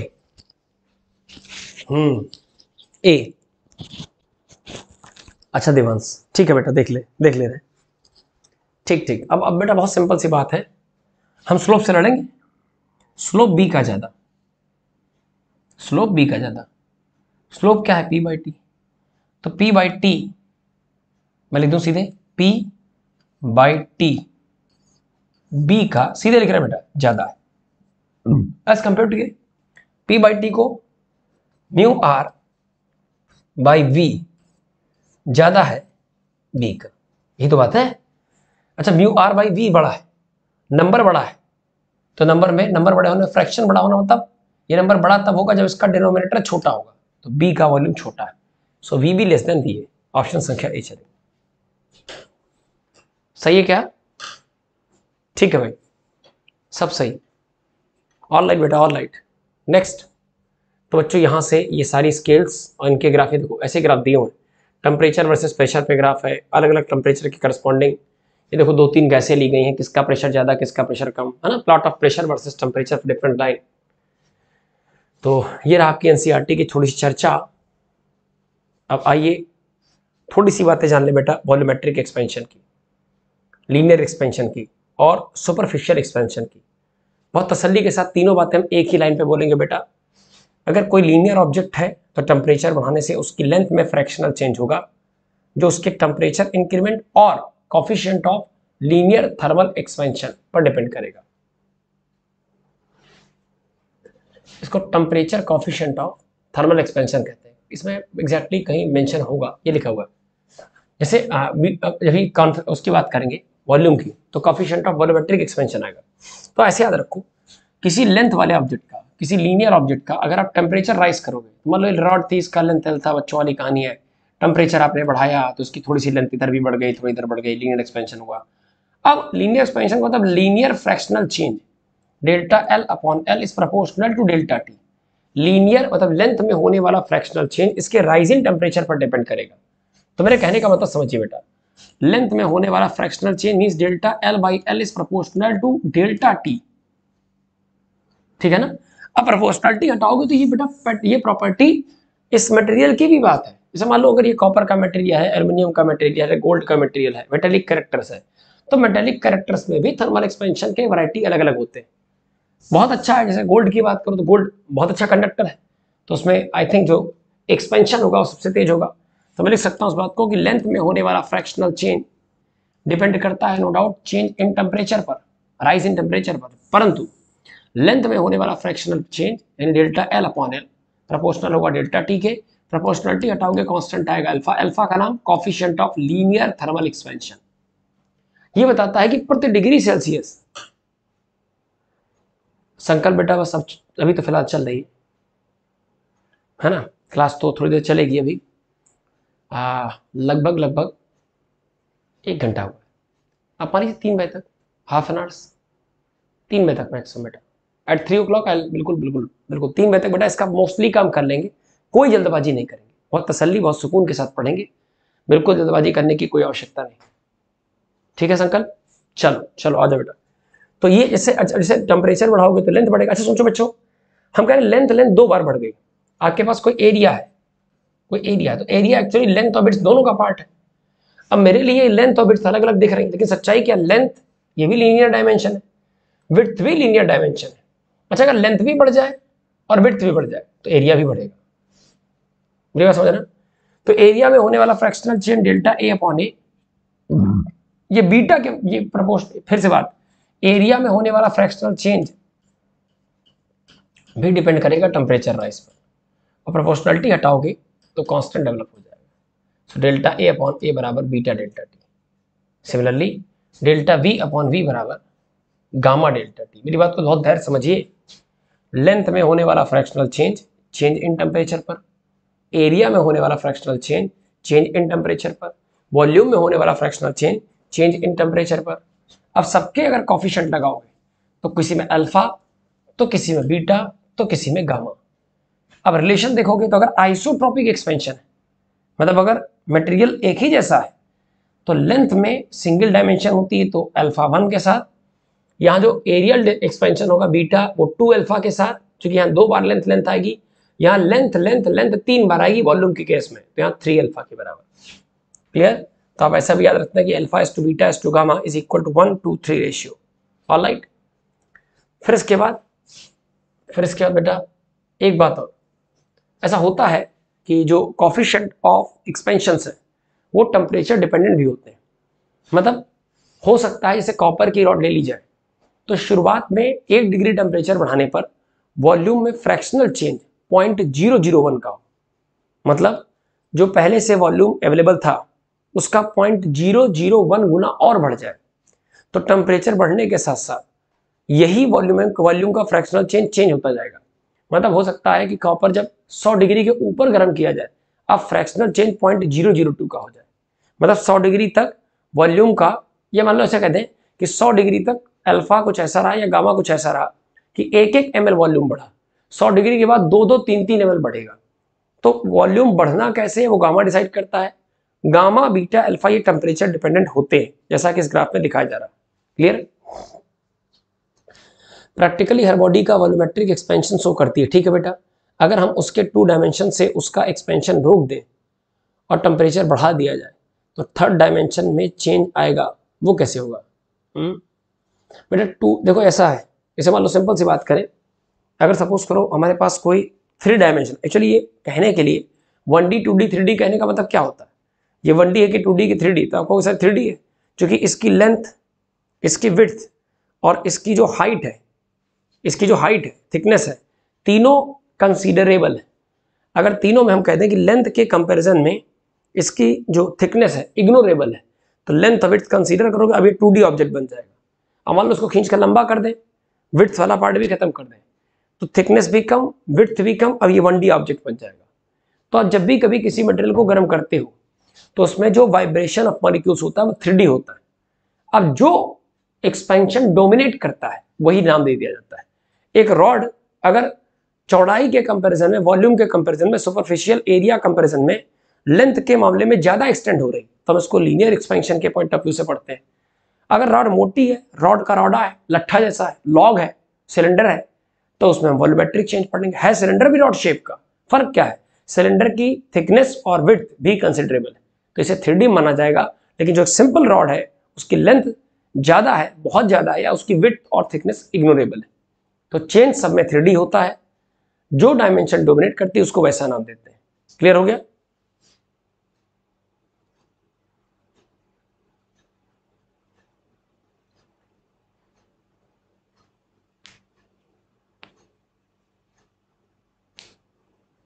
Just like cube hmm hmm. आप कहना चाहते हो कि सर, अगर हम दो डायमेंशन के एक्सपेंशन को कम मतलब किसी बाहरी एजेंट की मदद से बाहर से कुछ फोर्स वगैरह लगा के अगर दो डायमेंशन की एक्सपेंशन को रोक दे तो तीसरी बढ़ेगी, उसमें क्या है? तभी वॉल्यूम तो बढ़ेगा ना। अरे यार वॉल्यूम बनता है क्यूब का length into breadth into height से।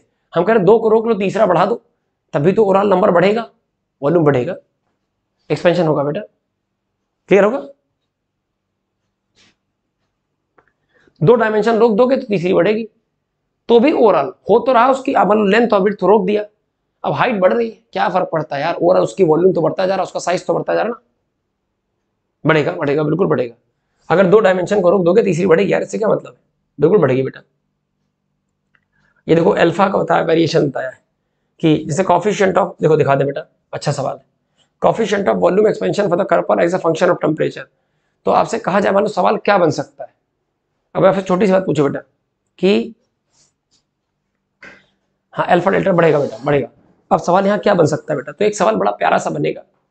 एक सवाल बड़ा प्यारा सा बनेगा कि आ, हमारे पास जो मटेरियल्स हैं उन मटेरियल्स के जो टेम्परेचर कॉफिशियंट्स हैं लाइक अल्फ़ा है लाइक बीटा है लाइक गामा है क्या वो भी टेम्परेचर डिपेंडेंट होते हैं? तो सवाल बनेगा कि coefficient of thermal expansion linear superficial और वॉलोमेट्रिक नहीं बोल रहा। वो आपसे पूछ रहा है कि coefficient of thermal expansion are बोलना पड़ेगा बेटा। तीसरी वाली लीनियर एक्सपेंशन की इक्वेशन को फॉलो करेगी। हाँ बिल्कुल बिल्कुल। अगर दो डायमेंशन रोक दोगे तो तीसरी वाली लीनियर इक्वेशन के एक्सपेंशन को फॉलो करेगी। सुनो बेटा, मान लो सवाल बनेगा, पूछ लेगा कि does coefficient of thermal expansion bracket में लिख दे linear volumetric superficial depends on temperature देखो वॉल्यूमेट्रिक चेंजेस लेंथ वाले चेंजेस हाँ हाँ सही बात, होते हैं। वॉल्यूमेट्रिक चेंजेस सुपरफिशियल चेंजेस ये तो टेम्परेचर पर डिपेंड होते हैं। लेकिन इनके जो कॉफिशियंट होते भाई हमने कहा कि डेल्टा वी अपॉन वी ऐसे मान लो, इस छोटी सी बात करें बेटा, कि मान लीजिए बच्चों, हमने लिख दिया, मान लीजिए हमने लिखा fractional change in volume delta V upon V is proportional to change in temperature अब आपके मन में क्या चला? प्रपोर्शनलिटी हटाओगे तो एक कांस्टेंट डेवलप होगा तो डेल्टा वी अपॉन वी बराबर constant time of delta T अब लॉजिकल बात ये क्या है? कि ये कांस्टेंट है, ये constant what do mean by constant ये कांस्टेंट फिक्स नहीं है। ये कांस्टेंट भी टेम्परेचर डिपेंडेंट होता है, यही ग्राफ में दिखाया गया है। कि शुरुआत में वॉल्यूम का चेंज अलग तरीके से होगा। देखो ऐसे हो रहा एक जैसा हो रहा चेंज बाद में हो सकता है चेंज का रेट बदल जाए। क्लियर है ना? चलो ऑल राइट नेक्स्ट पॉइंट की तरफ़ चलते बेटा। बड़ा प्यारा चैप्टर है, ऐसा नहीं है। और इसमें एक्चुअली सबसे खतरनाक बात यह कि इस चैप्टर में दो बातें मिला दी हैं। है ना? पी बराबर N T ideal gas equation वगैरह सब मिलाता है वो चल रहा चलो खैर, कोई बात नहीं। अब यहाँ से देखिए इस बात को कोरिलेट किया कितने प्यार से। इन्होंने कहा कि अब ज़्यादा ज्ञान ना दो। सरल भाषा में याद रखो कि आइडियल गैस इक्वेशन को अगर ध्यान से देखा जाए तो हमने आपसे पहले भी कहा था, एक को फिक्स रखो, दूसरा बदलो, तीसरा बदल जाएगा। तो अगर प्रेशर को फिक्स रखा जाए अंडर सेम एटमॉस्फेरिक कंडीशन किसी सब्सटेंस को हम एक्सपेंड करें।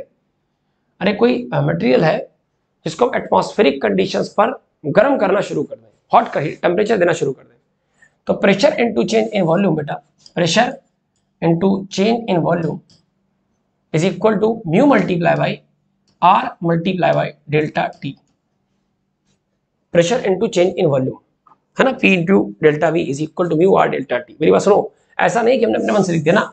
हम आपकी बात को फॉलो करेंगे। हमने कहा, भैया, लिखा था पीवी बराबर म्यू आर टी हमने कहा, ठीक है सर ये तो किसी के लिए वैलिड है।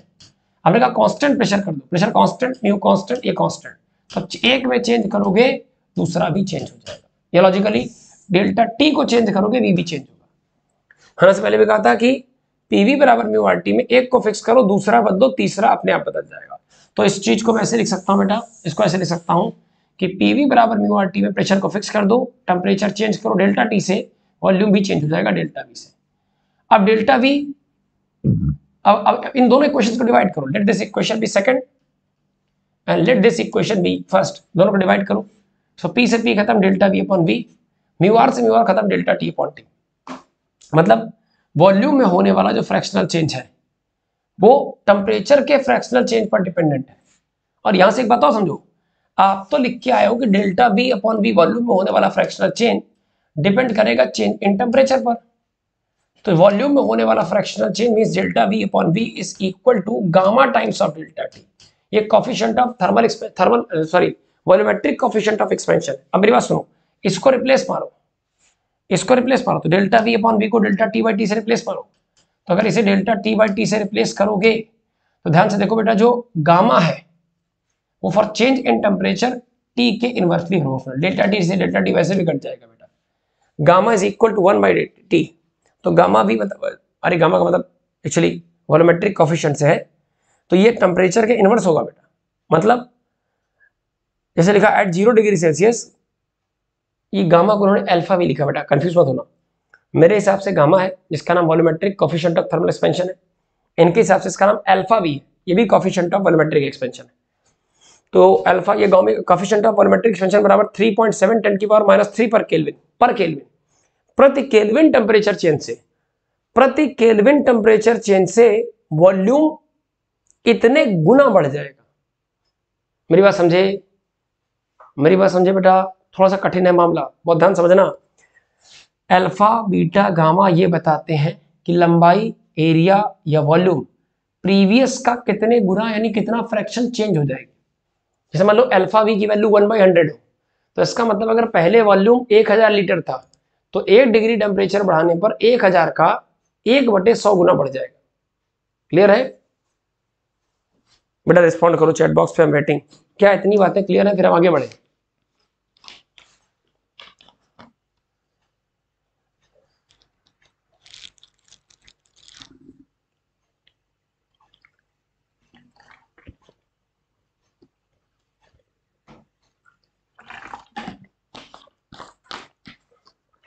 चलो ऑल राइट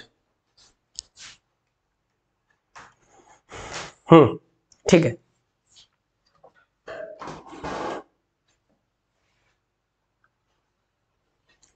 विकास चित्रांश, चलो, रफ कर दे, अब देखो जरा। फिर बेटा छोटी छोटी सी वेरिएशन दिए वॉल्यूम ऑफ़ वेद one K G of water ये बेटा बहुत प्रैक्टिकल डायग्राम है। बड़ा प्यारा ग्राफ है। ये वॉल्यूम और टेम्परेचर का वेरिएशन है किसी गिवन मास ऑफ़ वाटर के लिए। तो जैसे जैसे टेम्परेचर बढ़ाओगे तो पानी एक्सपेंड करेगा और रिसाइज होगा। तो टेम्परेचर बढ़ने के साथ साथ वॉल्यूम पहले डेप्रिशिएट होगा, फिर बढ़ेगा। चार डिग्री तक घटता है। अब इस बात को हमने ऐसे भी सिखाया बेटा, कि वॉल्यूम और डेंसिटी इनवर्सली प्रोपोर्शनल अब इस एक्सेस पर डेंसिटी और इस एक्सेस पर अगर टेम्परेचर ले लिया जाए तो mass is equal to volume multiply by density mass बराबर वॉल्यूम मल्टीप्लाई बाई डेंसिटी तो for a given mass for a constant mass product of volume and density is constant अब इसको ऐसे लिख सकते हो, इसको ऐसे लिख सकते हो बेटा, कि density is actually mass by volume density is actually mass by volume अब मेरी बात समझना बहुत ध्यान से, जो मैं समझाने जा रहा हूँ बेटा फोकस करना बेचा फोकस करना बेचा सुनो mass is equal to volume multiply by density बचपन से पढ़ते हैं। किसी कांस्टेंट अमाउंट ऑफ़ वाटर एक बॉटल पानी ले लो, वो कांस्टेंट हो गया। अब उसके वॉल्यूम को परिवर्तित करोगे, अब उसकी डेंसिटी चेंज होगी। दो चीज़ों का प्रोडक्ट अगर कांस्टेंट है बेटा तो एक को बढ़ाओगे, दूसरा घटेगा। एक को घटाओगे, दूसरा बढ़े बढ़ेगा। तो दोनों के चेंज इनवर्सली होंगे, ये बात यहाँ से भी आ रही चाहो तो रो बराबर एम अपॉन बी लिख लो, है ना? अब सुनो इस बात को फॉलो कैसे करें? इस बात को कैसे समझें? तो हमने क्या किया? हमने किसी वाटर के गिवन सैंपल पर एक्सपेरिमेंट कर लिया। हमने किसी वाटर के गिवन सैंपल पर एक्सपेरिमेंट किया। वाटर का टेम्परेचर बढ़ा के देखा। उसका वॉल्यूम ऐसे वेरी किया। कैसे? पहले घटेगा फिर बढ़ेगा। चार डिग्री पर घट के मिनिमम होगा। अब सुनो, असल में होता क्या है कि चार डिग्री के करस्पॉन्डिंग ये देखिए, एक, दो, तीन, चार। चार डिग्री के करस्पॉन्डिंग पानी की डेंसिटी मैक्सिमम होती है one into ten to power of three K G पर मीटर क्यूब, ये लिखी हुई है। तो पानी की डेंसिटी पहले चार डिग्री तक बढ़ती है, फिर घटती है। अब ध्यान से देखो, ग्राफ का पैटर्न मिला लो ठीक उल्टा ग्राफ है। ग्राफ एक ही याद रखना है कि टेम्परेचर बढ़ने के साथ साथ अगर ग्राफ सॉरी अगर टेम्परेचर ऐसा याद रखो, ऐसे कैरेक्टर याद रखने वाला क्या पूरे में कि at four degree Celsius density of water is maximum nothing else बस खत्म। पूरे दोनों ग्राफों की समरी यही है। चार डिग्री सेल्सियस पर पानी की डेंसिटी मैक्सिमम होगी बेटा। फिर से बोलते चार degree Celsius, four degree Celsius temperature पर वाटर की डेंसिटी मैक्सिमम होगी। मुझे आराम सोच समझ के आंसर देना कि एट फोर डिग्री सेल्सियस अगर वाटर की डेंसिटी मैक्सिमम है मैक्सिमम है तो चार पर मैक्सिमम का मतलब ज़ीरो से चार तक मैक्सिमम पहुंचेगी। फिर चार के आगे फिर कम हो जाएगा। भाई, चार मैक्सिमम रखना, चार टॉप पे रहेगा, उससे पहले भी कम, उससे बाद में भी कम।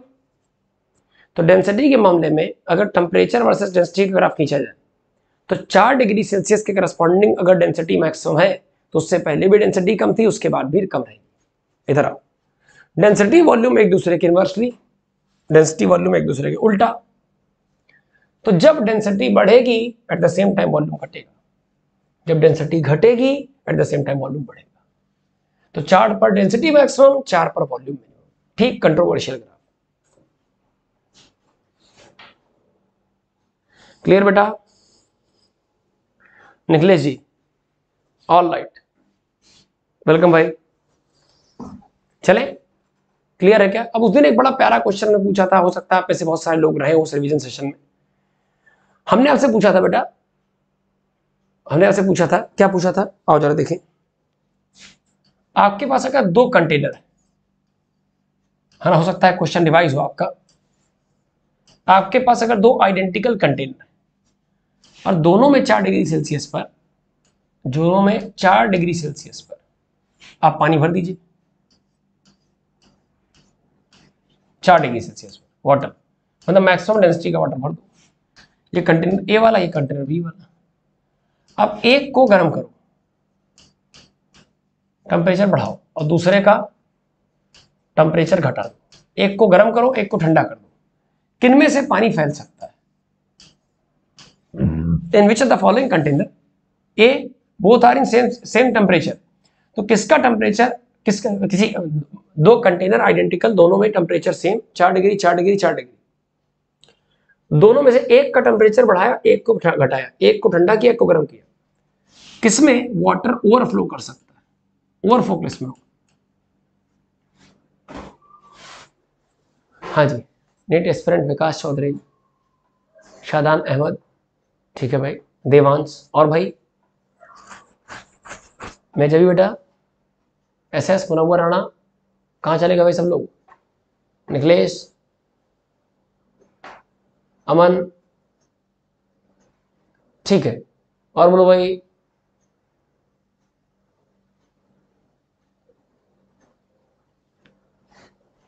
हाँ जी।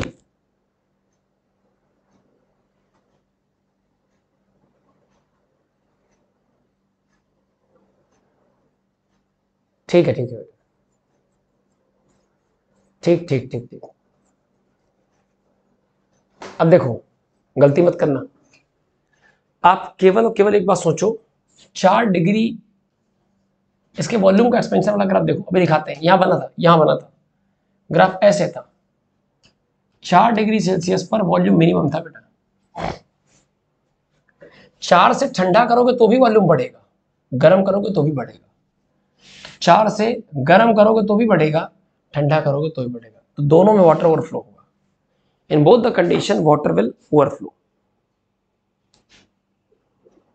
Devansh clear करो भाई? यस बेटा बोथ बोथ मैं जब ठीक है बेटा? विकास चित्रांश नीट, महेंद्र मनोवर ठीक है ठीक है ठीक है ठीक है। ऑल राइट क्लियर अब बच्चों, बस केवल मैं थोड़ी सी बातें आपसे प्रॉमिस कर रहा हूँ क्या क्या है जैसे क्या क्या डिस्कस करके बच्चों, ये अलग अलग हाँ ये एक थोड़ा सा अभी लास्ट वाला एक आर्टिकल था हम लोग के पास, उसको ड्राइव कर लेंगे। तो आज बच्चों स्पेसिफिक हीट कैपेसिटी और बता दूँ आपको मैं, आगे का भी प्लान क्या है अपकमिंग बातों में। स्पेसिफिक हीट कैपेसिटी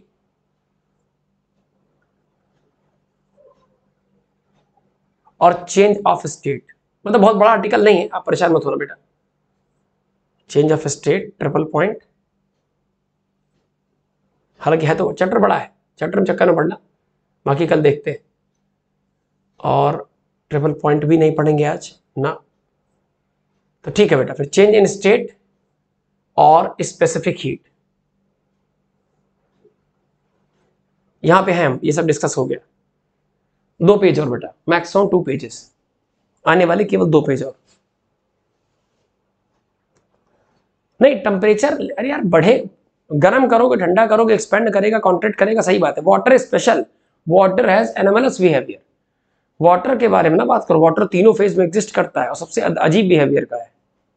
ठीक है ना? प्रकृति का सबसे अनोखा वरदान है वाटर तो बच्चों, केवल दो पेज और पढ़ेंगे। बिल्कुल परेशान मत होगी मैक्सिमम पंद्रह से बीस मिनट ठीक? लेकिन कॉपरेट करिए, तीन बजे तक ठीक। ठीक, तीन बजे आप अपनी आँखें बंद करके आराम सो जाएगा लेकिन तब तक आप पूरे मन से हमारा साथ देंगे। अब मेरी बात सुनो बेटा।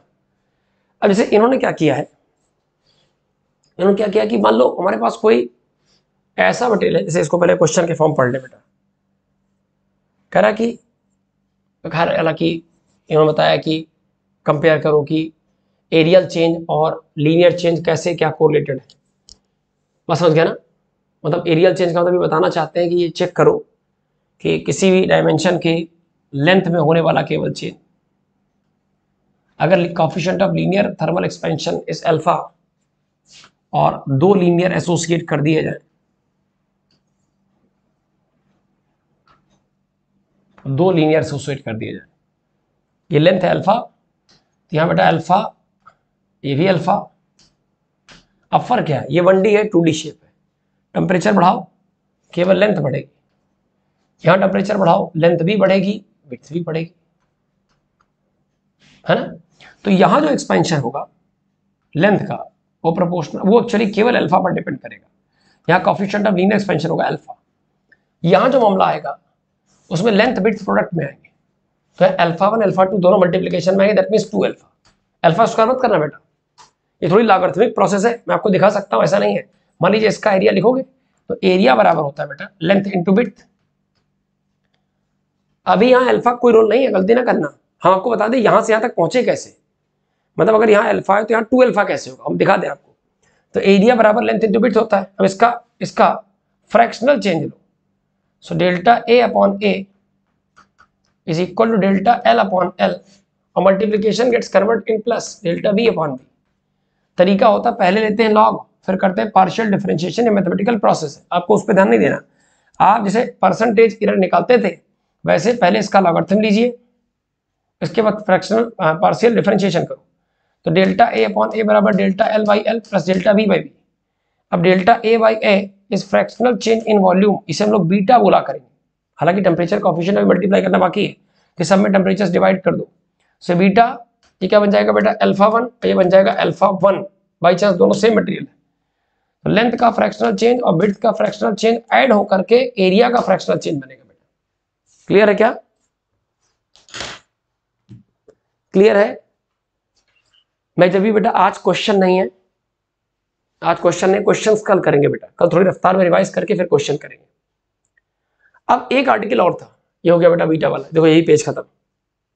अरे, एक आर्टिकल छूटा है क्या? हाँ एक आर्टिकल छूटा जा रहा था। देखिए थर्मल स्ट्रेस छूटा जा रहा था। थर्मल स्ट्रेस देखिए, बहुत ध्यान से बात समझना ध्यान से। आपको याद होगा। लिखा दें। What happens by preventing the thermal expansion of rod by fixing its rigidity? जैसे अभी देवांश पूछ रहा था कि सर अगर हम एक काम करें। कीर्ति दास थैंक यू बेटा। Thank you for appreciating my effort being human मतलब एक ह्यूमन बींग की वजह से हर पर्सन के अंदर अपनी अप्रिशिएशन सुनने की एक आदत होती है। और इसमें कोई दौरा नहीं कि मैं पूरी कोशिश करता हूँ बेटा आप सबके लिए डेडिकेटेड रहने की। है ना, मेरा पूरा एफर्ट रहता है कि जैसे क्लास मुझे पता था लेट हो गई, है ऑलरेडी लेट है। है ना, आँख लगी, फिर इसके बाद मेरी आँख खुली थी, एक बज के दस मिनट। अब बस लेट टेन मिनट फिर हमने चैट बॉक्स तुरंत देखा, बच्चे वेट कर रहे हैं फोर्टीन बच्चे वेटिंग थे उस टाइम पे। फोर्टीन तुरंत एक मुश्किल से शायद दस बारह मिनट लगा हुआ मैंने उस वक्त तुरंत टेक्स्ट किया। सर से बोला तो कहने का ये है मतलब कि थिंग्स कैन बी पोस्टपोन लेकिन मुझे लगता है कि मेरी फ़िलहाल सबसे प्रायर रिस्पॉन्सिबिलिटी से डॉक्टर के लिए क्या कर्तव्य है उसके बेटा?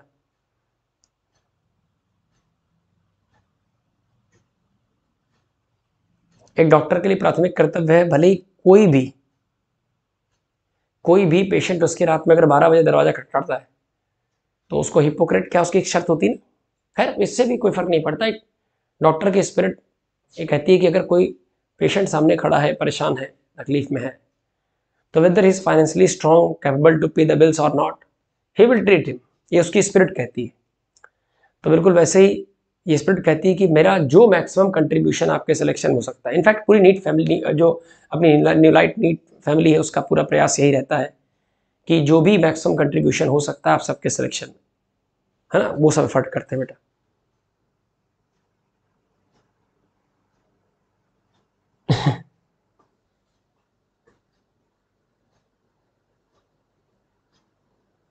चलो थैंक यू बच्चों। शुक्रिया बच्चे, शुक्रिया। और जरा सा इसको कवर अप कर ले। अब देखो, अभी देवांश थोड़ी देर पहले आप क्वेश्चन कर रहे थे बेटा। सभी लोग सुने भाई ध्यान से? सभी लोग सुनना बेटा। देवांश का क्वेश्चन था कि सर, अगर कोई क्यूब शेप है बेटा। थैंक यू शदन बेटा। चलो।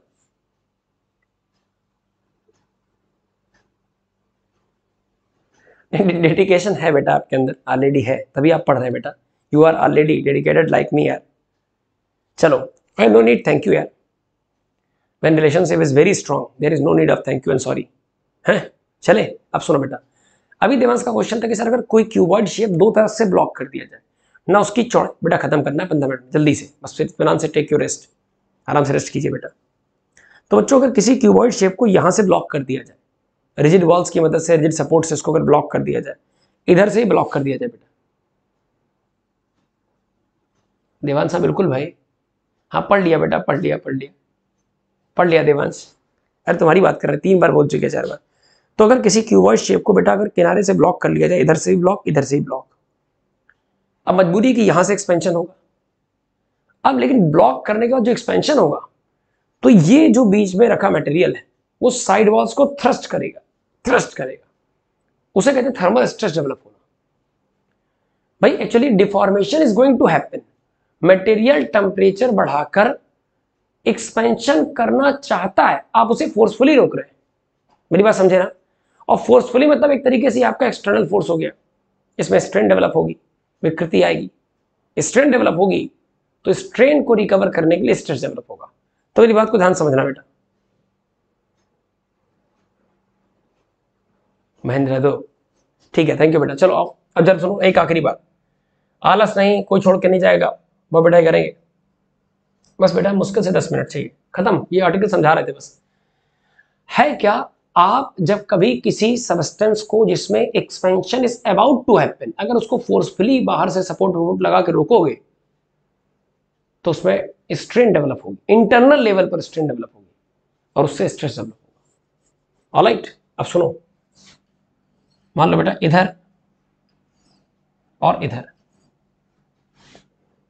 इनके बीच में मान लो, ये हमने आपका एक एल लेंथ का कोई रॉड एल लेंथ का कोई रॉड इन दो जॉ के बीच में जॉ मतलब जबड़े, दो फिक्स पॉइंट या दो फिक्स्ड ऐसे फिक्स देता फिक्स मतलब ये दोनों मान लो फिक्स सपोर्ट है, उनके बीच में एक लंबा, एक मेटलिक मेटलिक फील आ जाए मेटल की एक रॉड फंसा दी। और हाल फ़िलहाल इसका टेम्परेचर टी था, हमने डेल्टा टेम्परेचर बढ़ाया। तो टेम्परेचर अगर इंक्रीज करोगे तो इसमें एक्सपेंशन होना होगा। अब लेंथ में होने वाला change with respect to original length delta L by L is proportional to delta T length में होने वाला fractional change I repeat length में होने वाला fractional change is proportional to change in temperature proportionality हटाओगे तो कांस्टेंट आएगा तो delta L by L बराबर alpha multiply by delta T फ़र्क समझना यार, ये अल्फ़ा है गवर्नर करना। अब सवाल ये उठता है कि ये मटेरियल है और ये मेटल का है तो इसका अपना एक कॉफिशेंट ऑफ़ इलास्टिसिटी होगा गामा। लेंथ एल है लेंथ में होने वाला चेंज डेल्टा एल है तो इसमें स्ट्रेन कितनी आएगी? तो स्ट्रेन आ जाएगी बेटा। The strain that will develop is equal to delta L upon L the stress which will develop over the cross section area the stress that will develop is force upon area and modulus of elasticity is Y अब look at the point focus करना बेटा। रिजनेश उपाध्याय जी, नमस्कार खुश रहो भाई। मुस्कुराते रहो बेटे। चले। डॉक्टर मुकुंद झा जी, नमस्कार, कैसे हैं? आइए बेटा अब जरा सुनिए। अब एक लॉजिकल बात सुनो। अगर आपने किसी मटेरियल जिसको टेम्परेचर देकर एक्सपेंड करना चाहते हो, आपने टेम्परेचर दिया expansion is about to happen we are expecting उम्मीद करते हैं कि इसमें लेंथ में फ्रैक्शनल चेंज होगा, जो कि अल्फ़ा डेल्टा टी के बराबर होगा। ये मुझे पता है।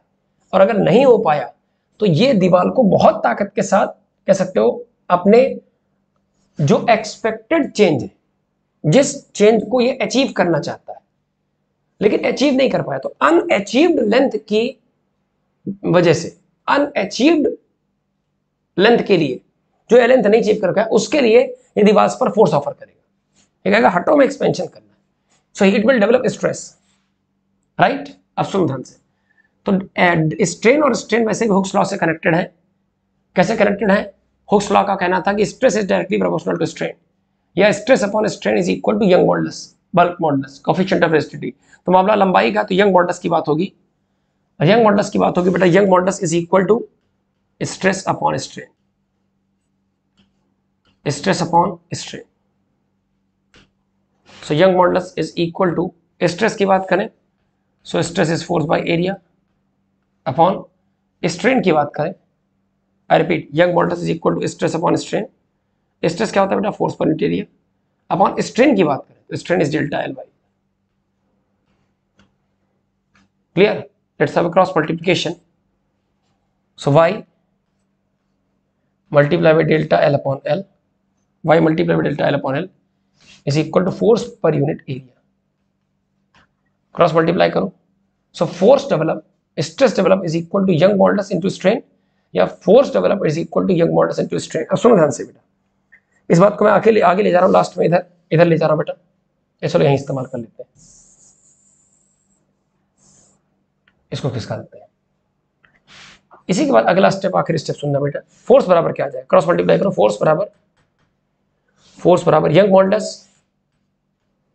into delta L by L Young modulus into delta L by L into area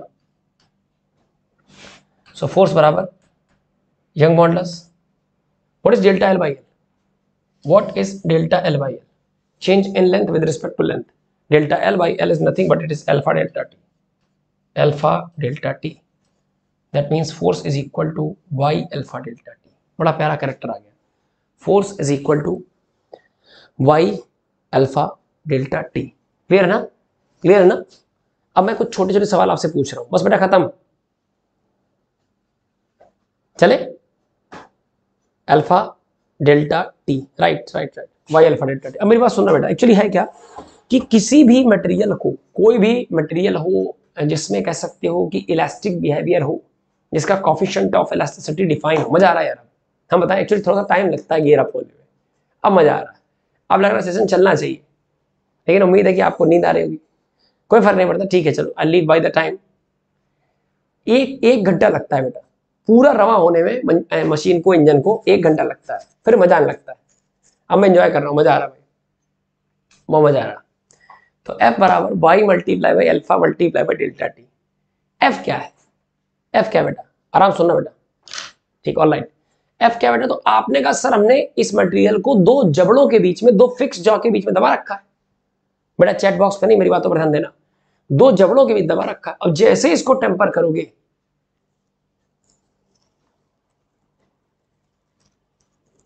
area missing है क्या ओहो हो ठीक ठीक, सही कह रहे बेटा। सॉरी बच्चों की नज़र है इस पे। Y multiply by alpha delta T multiply by area all right बेटा, सही है। ठीक है बेटा करेक्शन कर दिया। क्लियर अब सुनना, बहुत ध्यान सुनना बेटा।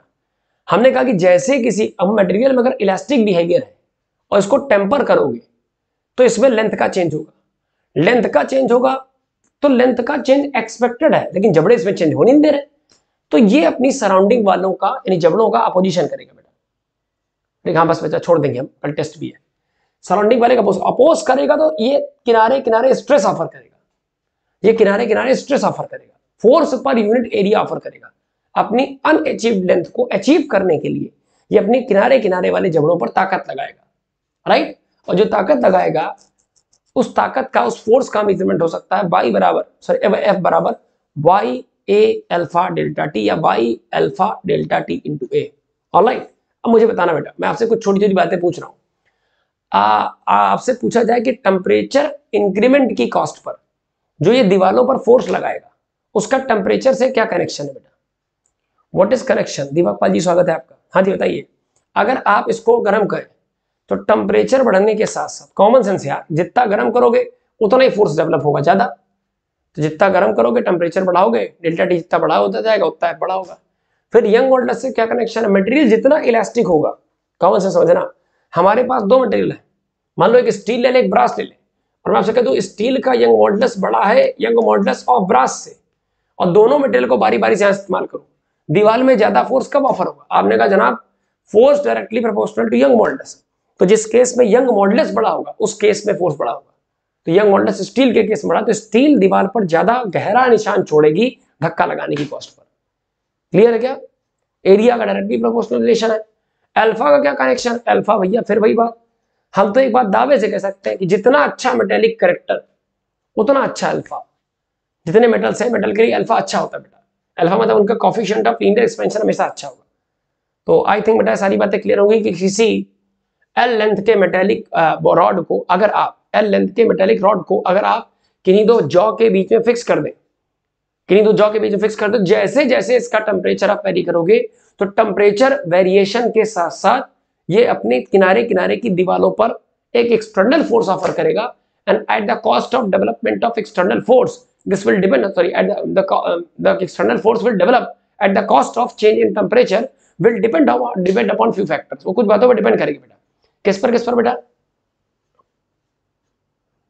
एक मिनट बेटा। पूरा किस पर डिपेंड करेगी? Y Young modulus alpha coefficient of in expansion delta T change in temperature और ए फॉर एरिया बस बच्चों आगे चलते हैं फटाफट।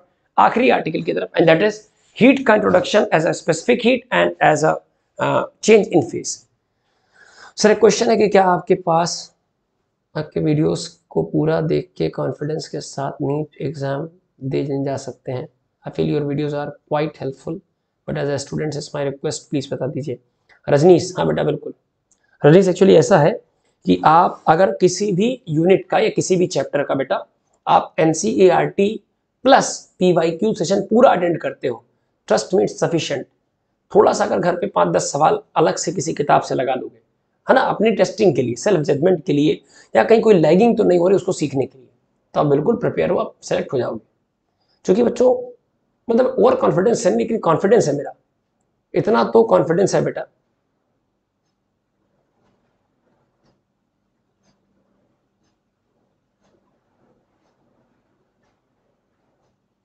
हाँ, पढ़ाई पर फोकस करो ठीक है बेटा। बिल्कुल सही बात देवंश।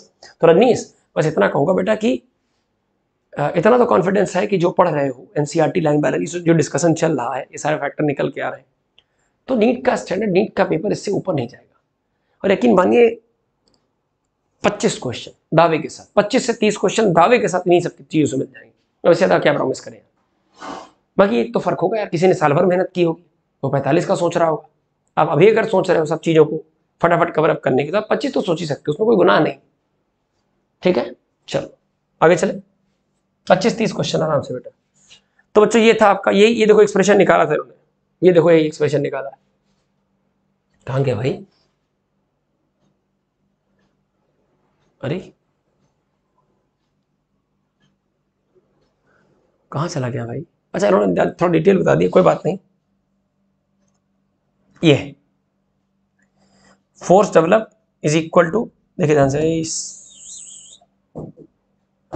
अरे भाई। कहा दुखी किया force is equal to Y A this is alpha delta T. Delta L by delta L ये देखो इसकी जगह अल्फ़ा डेल्टा टी। तो force is equal to A into Y उसकी जगह पर A alpha delta T. Clear? अब सारे कैरेक्टर पता होंगे जो पूछे बता देना। कर लोगे? नेक्स्ट बहुत इंपॉर्टेंट पॉइंट यार। और आई होप ये लास्ट बस बेटा। पंकज जी नमस्कार। लूसीफर जी, अरे वाह, शुक्रिया बेटा। ठीक है बेटा अच्छा बताओ। थैंक यू बच्चों। रेडी चले क्या? अब सो ध्यान से, एक आखिरी का आर्टिकल हम लोग पढ़ने जा रहे हैं। The last article we are going to discuss इस स्पेसिफिक हीट कैपेसिटी किसी मटेरियल की स्पेसिफिक हीट कैपेसिटी तो बच्चों, बहुत सामान्य सी बात है। स्पेसिफिक हीट कैपेसिटी का मतलब होता है हीट को कैरी करने की क्षमता। जैसे स्पेसिफिक हीट कैपेसिटी के मामले में हमारे सराउंडिंग में जितने भी आर्टिकल्स अवेलेबल हैं।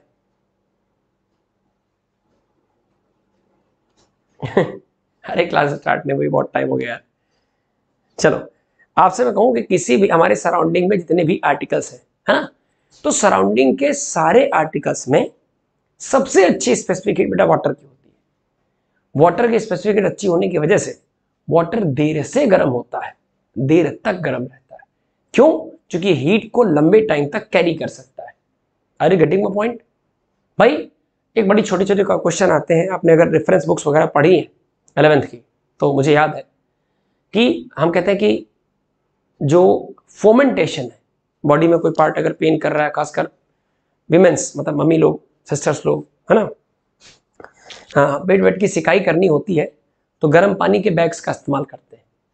तो गर्म पानी का बैगी को इस्तेमाल कर लो गर्म पानी की जगह तुम कोई अत्थर पत्थर गर्म कर लो। नहीं, मज़ाक नहीं करे अत्थर पत्थर गर्म कर लो। वो बढ़िया गर्म हो जाए, उसमें आप कपड़ा लपेटो। वो भी तो गर्म बना रहेगा। उससे सिकाई कर लो। नहीं पॉसिबल है। क्योंकि पत्थर जल्दी गर्म होगा, जल्दी ठंडा होगा। पानी देर से गर्म होगा, देर तक गर्म रहेगा। Water has good specific heat capacity water has a character to hold heat for the long time so water एक बार गर्म हो जाएगा। पानी का बैग एक बार गर्म होगा। देर तक गर्म बना रहेगा बार बार आपको उठना, नहीं, उठ के जाना नहीं पड़ेगा। पानी गर्म किया, पेट सेका, फिर उठ के चले गए तो पता लगा पेट दर्द ऐसे नहीं हो रहा था। पेट दर्द ऐसे कम हो रहा था, सिकाई करने के लिए बार बार पानी गर्म करने पेट दर्द और ज़्यादा होने लगा। तो पानी एक बार गर्म कर लो तसली से पेट ऊपर, बॉटल रख लो धीमे धीमे रोल करते रहो। समझ गया ना? So fomentation yes specific heat ज़्यादा तो हीट को होल्ड करने की कैपेसिटी ज़्यादा। हाँ पंकज जी लुसिफर जी और फैजल मलिक साहब। हाँ सबका स्वागत है भाई। तो बच्चों, एक बात ध्यान रखो। आप देखो, जैसे क्यू बराबर M C delta T formula लिखा है, पंकज जी ने। पंकज ने लिखा है क्यू बराबर एम सी डेल्टा टी यहाँ से मिल गया। तो क्यू हीट अमाउंट है बेटा। That is not specific heat वो हीट अमाउंट है। उस हीट अमाउंट में तीन चीज़ों का रोल अब बता देता हूँ थोड़ी सी क्लियर बात कि मान लो आपने एक भगोने पानी गर्म किया। समझना ध्यान से। मैं आपसे दो सवाल पूछूँगा बेटा। आइडेंटिकल अगर आपके पास कंटेनर है। मान लो मास एक जैसे। इसमें भी एम मास ऑफ़ वाटर है इसमें भी एम मास ऑफ़ वाटर है ना? और दोनों को हम बेटा गर्म करने जा रहे हैं। दोनों को हम गर्म करने जा रहे हैं। अच्छा तो दोनों को सप्लाई की जाने वाली हीट मास तो सेम है। हाँ आपसे कहते हैं, इसको ल्यूक वार्म करना, इसको गुनगुना कर देना और इसको हॉट कर देना। बॉईल करो बॉईल बॉईल इस पानी को बॉईल करो। अब आपके मन में कॉमन सेंस की बात आ गई, सर, इसको ल्यूक वार्म करना है गुनगुना करना है। एक मिनट गैस चलाई, बंद कर दिया। उबालना है, पाँच सात मिनट चलाए रहो, अपने आप उबलने लगेगा। तो इसका मतलब टेम्परेचर पर डिपेंडेंसी है। भाई इसमें कम हीट लगेगी इसमें ज़्यादा। तो heat supplied is dependent on change in temperature we are expecting. If you want to lukewarm any substance, we will supply poor amount of heat. या थोड़े से हीट में काम चल जाएगा। बॉईल करना है खोलाना है हीट ज़्यादा लगेगी। ऑलराइट दूसरा आर्टिकल क्या आता है? अब इसी इसी को ऐसा कर सकते हैं। इसी को ऐसा कर सकते हैं बेटा कि मान लो मान लो हम दो कंटेनर में पानी गर्म करना चाहते हो दोनों कंटेनर ऐसे हैं अलग अलग साइज़ के।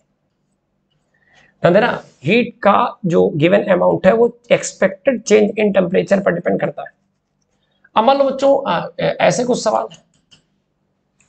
इसको भी गर्म करना है, इसको भी। ये कटोरी पानी, भगोना पानी, है ना? कंटेनर छोटा, बड़ा साइज़ डिफरेंस है। मास डिफरेंस है। अब फिर वही बात है, हम कहते दोनों को सेम टेम्परेचर तक गर्म करो। दोनों को गुनगुना करो। ल्यूक वार्म करो। हीट अलग अलग लगेगी, कम ज़्यादा। आपने कहा, सर हीट अलग अलग लगेगी। भगोना भर पानी गुनगुना करना टाइम लगेगा। एक डेढ़ मिनट लगेगा, लेकिन गिलास भर गर्म करना शायद दस बारह सेकेंड, बारह बीस, पंद्रह सेकेंड, पैन में डालो, तुरंत गर्म कर लो। तो जो सप्लाइड अमाउंट ऑफ़ हीट है मास डिपेंडेंट है। आप प्रपोर्शनलिटी हटाओगे तो कांस्टेंट डेवलप होगा, और वो कांस्टेंट है सी या एस मान लो multiply by M multiply by delta T पहले हम देख चुके ये स्पेसिफिक हीट करेक्टर है। अभी यही क्यों आया? ये बताता भैया हीट का जो अमाउंट गिवन है, वो केवल मास और टेम्परेचर चेंज पर डिपेंड नहीं करता।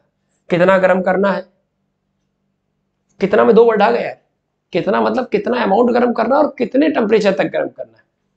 ये बात इस बात पर भी डिपेंड करती है कि किसे गर्म करना है? मटेरियल कौन सा है? उसकी अपनी प्रॉपर्टीज़ क्या क्या है? उसका स्पेसिफिक हीट कितना है? Right so heat amount given is Q बराबर M S delta T alright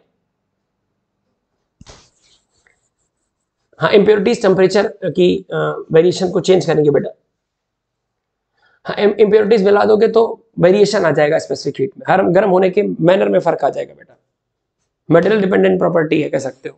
ठीक है। अरे, अभी वाटर है प्योर वाटर है, उसकी स्पेसिफिक हीट अलग होगी। साल्ट मिला दोगे शुगर मिला दोगे, अलग स्पेसिफिक हीट होगी। क्लियर हाँ नेचर ऑफ़ सब्सटेंस डिपेंडेंट होती है बेटा। ऑल लाइफ ठीक है नेट एस्पेरेंट जी।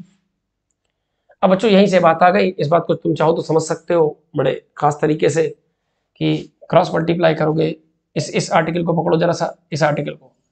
तो यहाँ से आ जाएगा delta Q is equal to delta Q is equal to M S delta T M multiply by S multiply by delta T M multiply by S multiply by delta T heat supplied heat amount supplied is dependent on mass specific heat and expected change in temperature ये लिखा हुआ stand for the amount of heat absorb or given to system substance mass of M temperature expected change delta T then the specific heat of substance is given by S and all are correlated by Q बराबर m delta t clear अब अगर बेटा बात unit की करें तो unit की बात करोगे तो बड़ी सिंपल सी बातचीत है। सिंपल सी बातचीत है कि जो S I unit of heat capacity S I unit of specific heat capacity तो स्पेसिफिक हीट कैपेसिटी अच्छा हीट कैपेसिटी पर मोल वाला मामला अलग हुआ। तो फ़िलहाल स्पेसिफिक हीट क्या है? Q बराबर एम एस डेल्टा टी से m upon S sorry s बराबर Q by M delta T Q मामला अगर कैलोरी में लोगे upon mass in terms of KG और temperature change in terms of kelvin तो ए, लेकिन यहाँ उन्होंने क्या किया कि यहाँ इस चीज़ को कैलोरी में लेकर के साथ जूल में लिया तो क्लियर कर ले भाई। Specific heat capacity of a substance. चलो भाई दिया ठीक है। मामला कैलोरी मैंने लेकर के स्पेसिफिक हीट कैपेसिटेंस यानी जिसको हम लोग एस कह रहे थे इट डिपेंड्स अपॉन ये देख वही लाइन बेटा जो आप लोग चैट बॉक्स पे लिख रहे हो बिल्कुल सही है कि depends upon nature of substance and its temperature हाँ टेम्परेचर डिपेंडेंट होती है स्पेसिफिक हीट कैपेसिटी यानी एस ये भी टेम्परेचर के साथ वेरी करती है। जैसे आइस के स्पेसिफिक हीट कैपेसिटी बहुत ठंडे पानी की स्पेसिफिक हीट कैपेसिटी ठंडे, बहुत ठंडे पानी का फॉर्मेट ही आइस है तो आइस की स्पेसिफिक हीट कैपेसिटी और पानी की स्पेसिफिक हीट कैपेसिटी उनका सब्सटेंस एक ही है एस टू ओ लेकिन स्पेसिफिक हीट कैपेसिटी अलग अलग होती है। आइस की स्पेसिफिक हीट कैपेसिटी जो ज़ीरो से नीचे टेम्परेचर पर आइस होती है, उसकी स्पेसिफिक हीट कैपेसिटी हाफ़ होती है। हाफ़ जूल पर के जी केल्विन लेकिन जो पानी है, जो ज़ीरो से ऊपर टेम्परेचर का है, उसकी होती वन जबकि दोनों का कंस्टिट्यूएंट एस टू है सेम है। क्लियर हाँ तो एस आई यूनिट जो चलेगी बेटा इसकी एस आई यूनिट चलेगी, वो चलेगी, क्या चलेगी? देखो जरा इसको यहाँ से मिलाते हैं कि ऊपर मामला स्पेसिफिक हीट कैपेसिटी एस कह लो इज़ इक्वल टू ऊपर मामला हीट का है वो जूल में अपॉन म्यू फॉर मोल और हाँ, इसको एक्चुअली एम क्यू बराबर M S delta C collate करना। ये मोलर पे मत जाना बेटा मोलर पे मत जाना। मोलर पे मत जाना क्यू बराबर एम एस डेल्टा टी तो एस बराबर Q by M delta T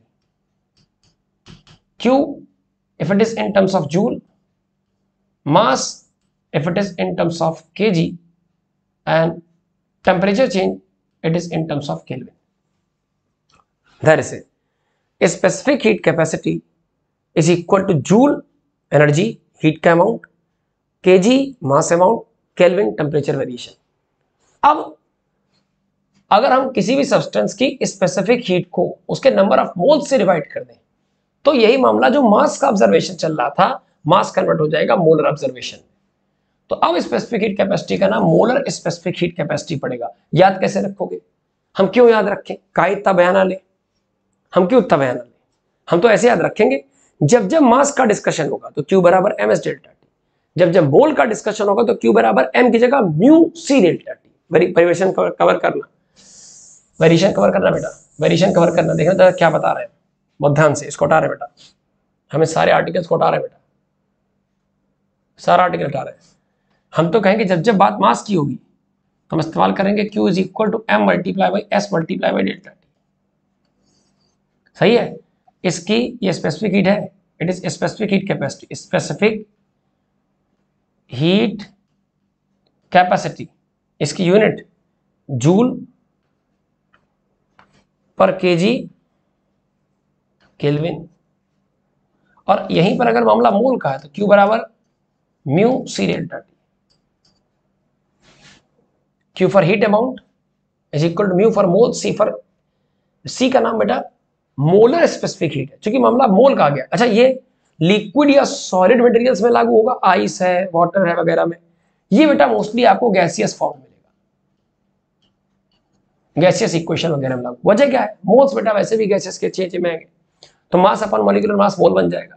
तो ये molar specific heat capacity molar specific heat capacity और इसका यूनिट क्या हो जाएगा? अब मामला आएगा बेटा मेरे हिसाब से जूल पर मोल केल्विन। भैया, जूल पर मोल पर केल्विन? या मास था तो पर केजी था? इतना परिवर्तन होगा। क्लियर है क्या?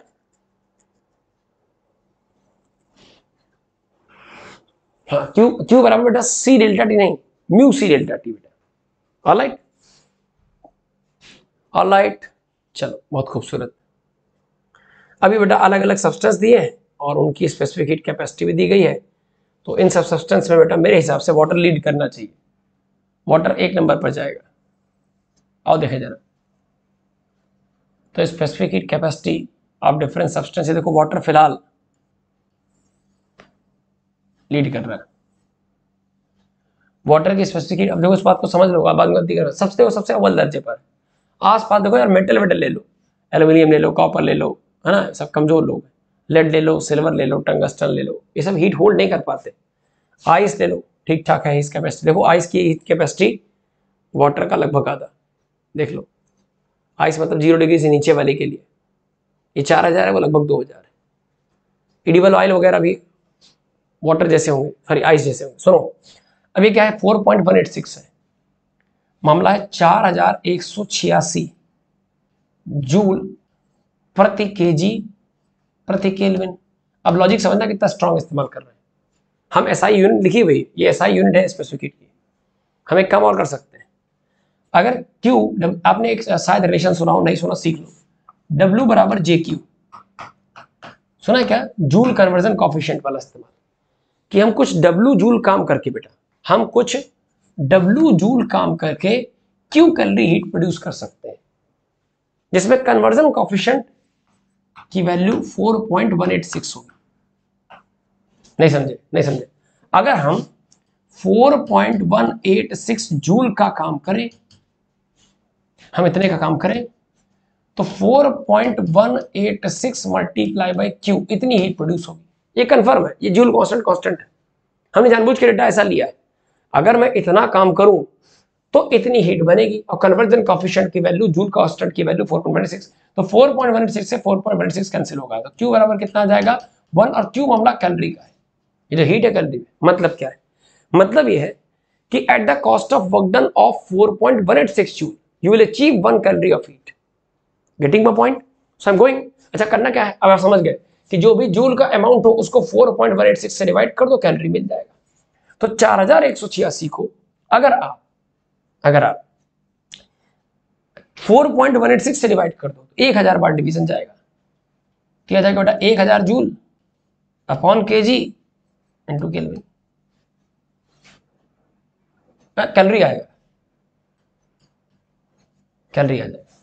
और देखो जरा, एक हज़ार कैलोरी का मतलब बेटा, एक kilo calorie upon K G into kelvin. अच्छा किलो किलो चाहो तो हटा दो। तो स्पेसिफिक हीट का मतलब सब्सटेंस अगर वाटर है, उसका स्पेसिफिक अमाउंट जूल में four one eight six joule per kg kelvin है, या एक हज़ार कैलोरी पर केजी केल्विन में, या एक kilo calorie per kg kelvin है तो किलो से किलो काटोगे तो आंसर आ जाएगा one calorie per kg kelvin इसका पर ग्राम केल्विन तो इसको हम हमेशा आगे ऐसे इस्तेमाल करेंगे। कल वाली डेट पर जब लोग क्वेश्चन करेंगे तो स्पेसिफिक हीट को हम लोग इस्तेमाल किया करेंगे एक कैलोरी पर ग्राम केल्विन अब आपको एक चीज़ अच्छे से याद है बेटा, कि वन केल्विन का जो चेंज है बेटा, वो वन डिग्री सेल्सियस के चेंज के बराबर होता है। याद आ रहा? वन केल्विन का चेंज अरे भाई केल्विन में भी सौ खाने सेल्सियस में भी सौ खाने। तो सौ खाने जो सेल्सियस के हैं वो सौ खाने केल्विन के बराबर है। तो अगर चेंज बराबर है तो हम चाहें तो इसको बेटा रिप्लेस कर दे। भाई, इसलिए रिप्लेस करें ताकि आप जल्दी समझ सको। सेल्सियस लिख दो। अब मेरी समझो इस बात का। कि specific heat capacity specific heat capacity is giving us information about how much calorie are required to temper how much gram by how much temperature logic समझो। यदि मैं एक ग्राम को एक ग्राम वाटर बेटा ये बेटा पता है, ये डेफिनेशन इज़ लिखी जाती है। हम छोटी क्लास से पढ़ते हैं कि लगभग 14.5 डिग्री सेल्सियस पर जो वाटर है, ये आइडियल कंडीशन है। लगभग साढ़े चौदह डिग्री सेल्सियस पर जो वाटर है, उसको साढ़े चौदह डिग्री सेल्सियस ऑफ़ वाटर को अगर एक ग्राम लिया जाए तो एक ग्राम फोर्टीन एक ग्राम साढ़े चौदह डिग्री सेल्सियस वाटर का टेम्परेचर एक डिग्री सेल्सियस बढ़ाने के लिए एक कैलोरी हीट की आवश्यकता पड़ती है। अब अगर हम साढ़े चौदह, साढ़े पंद्रह हटा दें तो ऐसा कह सकते हैं, एक ग्राम पानी को स्टैंडर्ड टेम्परेचर पर, यानी स्टैंडर्ड कंडीशन पर, एक ग्राम पानी को एक कैलोरी हीट दोगे तो उसका टेम्परेचर एक डिग्री सेल्सियस बढ़ जाएगा। और आगे पढ़ लो। एक ग्राम पानी का टेम्परेचर एक डिग्री सेल्सियस बढ़ाने के लिए एक कैलोरी हीट की रिक्वायरमेंट होगी। क्लियर हो गया ना बेटा? गुड मॉर्निंग बेटा। अनुरुद्ध विश्वकर्मा जी गुड मॉर्निंग भाई। Anik Anuj Kushwaha ji good morning Sankalp Patil good morning good morning ठीक है भाई? चले? ऑल राइट तो बच्चों, बस आखिरी की तरफ़ चल रहे हैं, तकरीबन कैलोरीमेट्री शुरू होगा, उसको हम लोग कल डिस्कस करेंगे बेटा। टुमारो विल डिस्कस तो आज तकरीबन आखिरी आर्टिकल मैं आपसे डिस्कस कर दूँ, आज की डेट का बेटा। आखिरी आर्टिकल जैसे इन्होंने कहा है।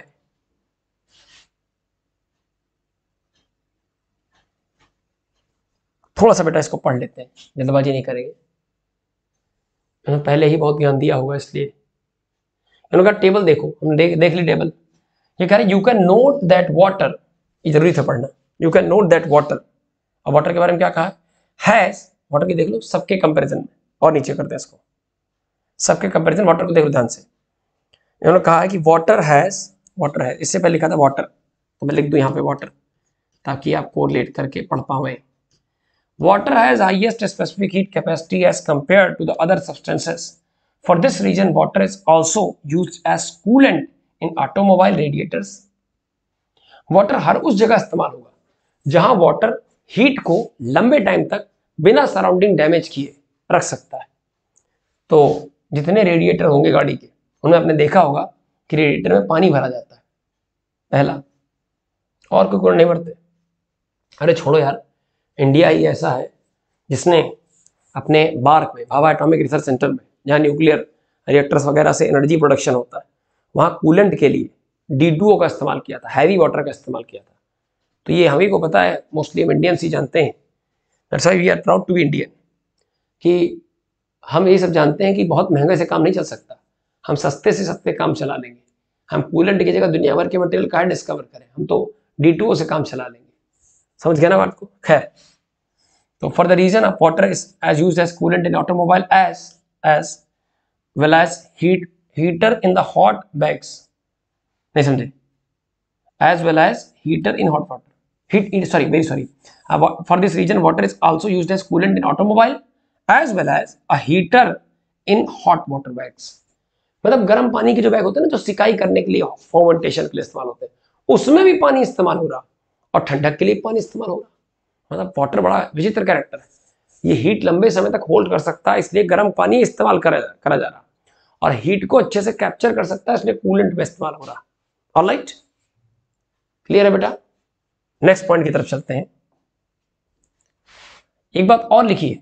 Owing to the high specific capacity पानी की अच्छी स्पेसिफिक हीट कैपेसिटी की वजह से water warm off more freely than land during the summer पानी हौले हौले गर्म होता है। लैंड जल्दी गर्म हो जाती है। जल, जो जल्दी गर्म होगा वो जल्दी ठंडा होगा।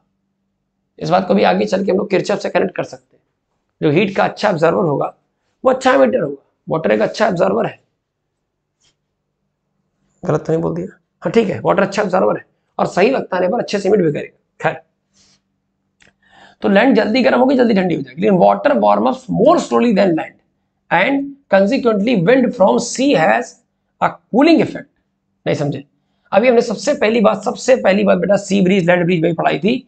कि इमेजिन करो उस बात को, बेटा यहाँ साइड में समझा दे कि मान लो ये समुद्र तट है और ये हिस्सा वाटर बॉडी का एक्वाटिक बॉडी का। एक्वाटिक बॉडी का है। अब डे की बात करें अगर डे की। तो डे में जो आपका सनराइज है, वो गिर तो सब जगह रही। पानी भी गर्म होगा और ज़मीन भी गर्म होगी। जल्दी कौन गर्म होगा? जल्दी ज़मीन गर्म होगी। ये गर्म होगी तो यहाँ की हवा ऊपर उठेगी। अब यहाँ एरोस्पेस बनेगा, यहाँ जगह बनेगी। हवा का नीचे से ऊपर जाना, अरे भाई कनेक्ट करो। हवा नीचे से ऊपर जाएगी तो यहाँ हवा की कैनेटिक एनर्जी ज़्यादा होगी टेम्परेचर की वजह से। कैनेटिक एनर्जी ज़्यादा तो प्रेशर कम। तो विंड का मूवमेंट हाई प्रेशर जोन से लो प्रेशर जोन की तरफ़ होगा। तो दिन में ज़मीन के गर्म होने से हवा ऊपर उठेगी स्पेस बनेगा कैनेटिक एनर्जी बढ़ेगी हवा की प्रेशर एनर्जी कम होगी प्रेशर कम होगा तो हाई प्रेशर सी की तरफ़ से पानी, हवा का प्रवाह ज़मीन की तरफ़ होगा। ठंडी ठंडी हवाएँ चलेंगी। ये देखो लिखा हुआ। And consequently wind from sea has a cooling effect और जो वहाँ से हवा आएगी, ठंडी लगेगी। उसकी वजह क्या है? बहुत सारी चीज़ें बेटा। जो हेयर एयर पहली बात तो पानी है। पानी, उसमें वेपर होंगी, इसलिए ठंडा लगेगा। है ना? और वेपर दूसरी बात, कुछ डिस्टेंस चल के आएगी। तो चलने में एयर अपनी कर्टिक एनर्जी लॉस करेगी टेम्परेचर लॉस करेगी तो हमारी बॉडी को टच करेगी मैं ठंडक महसूस होगी। ठीक है भाई? एल्यूमिनियम हाईलाइट कर दे। एल्यूमिनियम बेटा पुअर है। क्लियर लास्ट कर दे बेटा। Now you can tell why desert area on the earth surface warms up quickly during the day and cools quickly at the night अब आप बता सकते हैं, देखो डेजर्ट एरिया दिन में भयंकर गर्म और रात में बढ़िया ठंडा होता है। क्यों? सारा खेल स्पेसिफिकेट का जो जल्दी गर्म होगा, जल्दी ठंडा होगा। क्लियर है क्या? एल्यूमिनियम नौ सौ बेटा क्लियर तो बच्चों, यहाँ के बाद अब बचता है कैलोरीमेट्री का इफ़ेक्ट आर्टिकल नंबर 11.7 ठीक है भाई? तो क्या कहते हैं भाई? थोड़ा सा और आगे कंटिन्यू किया जाए कि बस करें? बोलो भाई। बच्चों, बताइए भाई। टेम्परेचर रिलेटिव नहीं होता बेटा। Temperature absolute quantity temperature is not relative quantity but it's absolute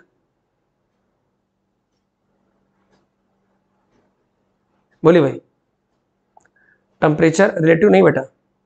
temperature absolute quantity और बोलो भाई।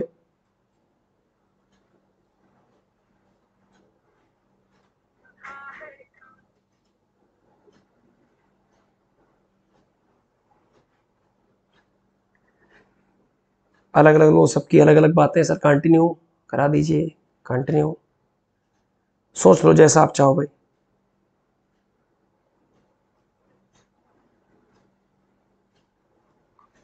बोलो बेटा। अच्छा कुछ सवालों को जवाब दे दो। कुछ सवालों को जवाब दे दो, फिर चले।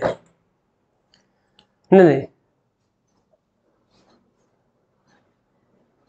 थैंक यू संकल्प सुनो भाई, मेरी बात सुनो। हम अनावश्यक आपको परेशान। रविता, आप सब कहाँ सोते रहते हो? बहुत सारे बच्चे ऐसे होते हैं नाम अभी पहली बार। अजय इकबाल, देवांश में जबी रविता। नहीं बेटा, अनावश्यक आपको परेशान नहीं करेंगे। तीन बज रहा है। एक नेचुरल रूटीन भी होता है। हमारा एक नेचुरल क्लॉक भी है ना तो हम उसको डिस्टर्ब नहीं करेंगे। और बहुत सारा काम अभी कल करना बाकी है है ना? तो कल मीन्स सैटरडे वाला सेशन ना? तो tomorrow means Saturday will be having great discussion on heat कल तीन बजा देंगे। कल बिल्कुल तैयार रहना जो बच्चा कल ये मान के चलो हीट की क्लास करेगा और तकरीबन हीट के सारे क्वेश्चन कर पाएगा, मेरा प्रॉमिस है। और तीन क्वेश्चन आएँगे चार। कन्फर्म पूरी हीट से मान लो। कल खत्म कर देंगे बेटा, है ना? तो आज अभी तो मैं आपसे केवल दो चार क्वेश्चन पूछ के इस क्वेश्चन को अभी फ़िलहाल बंद करूँगा बेटा। नहीं, कल कभी नहीं आता, ऐसा नहीं बेटा, कल आता है, कल आएगा। यही भरोसा तो आपको सिलेक्शन दिलाएगा। कल आता है और कल आएगा, यही भरोसा सिलेक्शन दिलाएगा। ठीक है ना? चलो सुनो, बस ये सुन जाओ, सुन तो लो गुड नाइट वाले बच्चों, मारेंगे अभी एक आखिरी दो सवालों को जवाब दो, जल्दी बताओ जरा सा। फॉर्मर अपने फ़ील्ड में क्रॉपिंग करते वक्त जब उसको लगता है कि बहुत ज़्यादा ठंडक पड़ रही है, इतनी ज़्यादा ठंडक पड़ रही है कि सराउंडिंग के टेम्परेचर गिर जाने की वजह से पानी फ्रीज कर सकता है। हालाँकि यूपी वगैरह में ऐसा नहीं होता। मतलब जनरली जो बहुत ठंडे प्रदेश होते हैं, वहीं ऐसा होता है बेटा। है ना? क्लियर ना? जल्दी पूछे फटाफट पूछ रहे हैं। तो जो फार्मर है बेटा, उसने आप आप देखो जो बहुत ठंडे एरिया होते हैं, वहाँ क्रॉपिंग करते वक्त क्या करता है फार्मर बस पाँच दस मिनट बेटा, पाँच मिनट और मैक्सिमम पाँच मिनट मैक्सिमम आप घड़ी देख लो, छोड़ देंगे।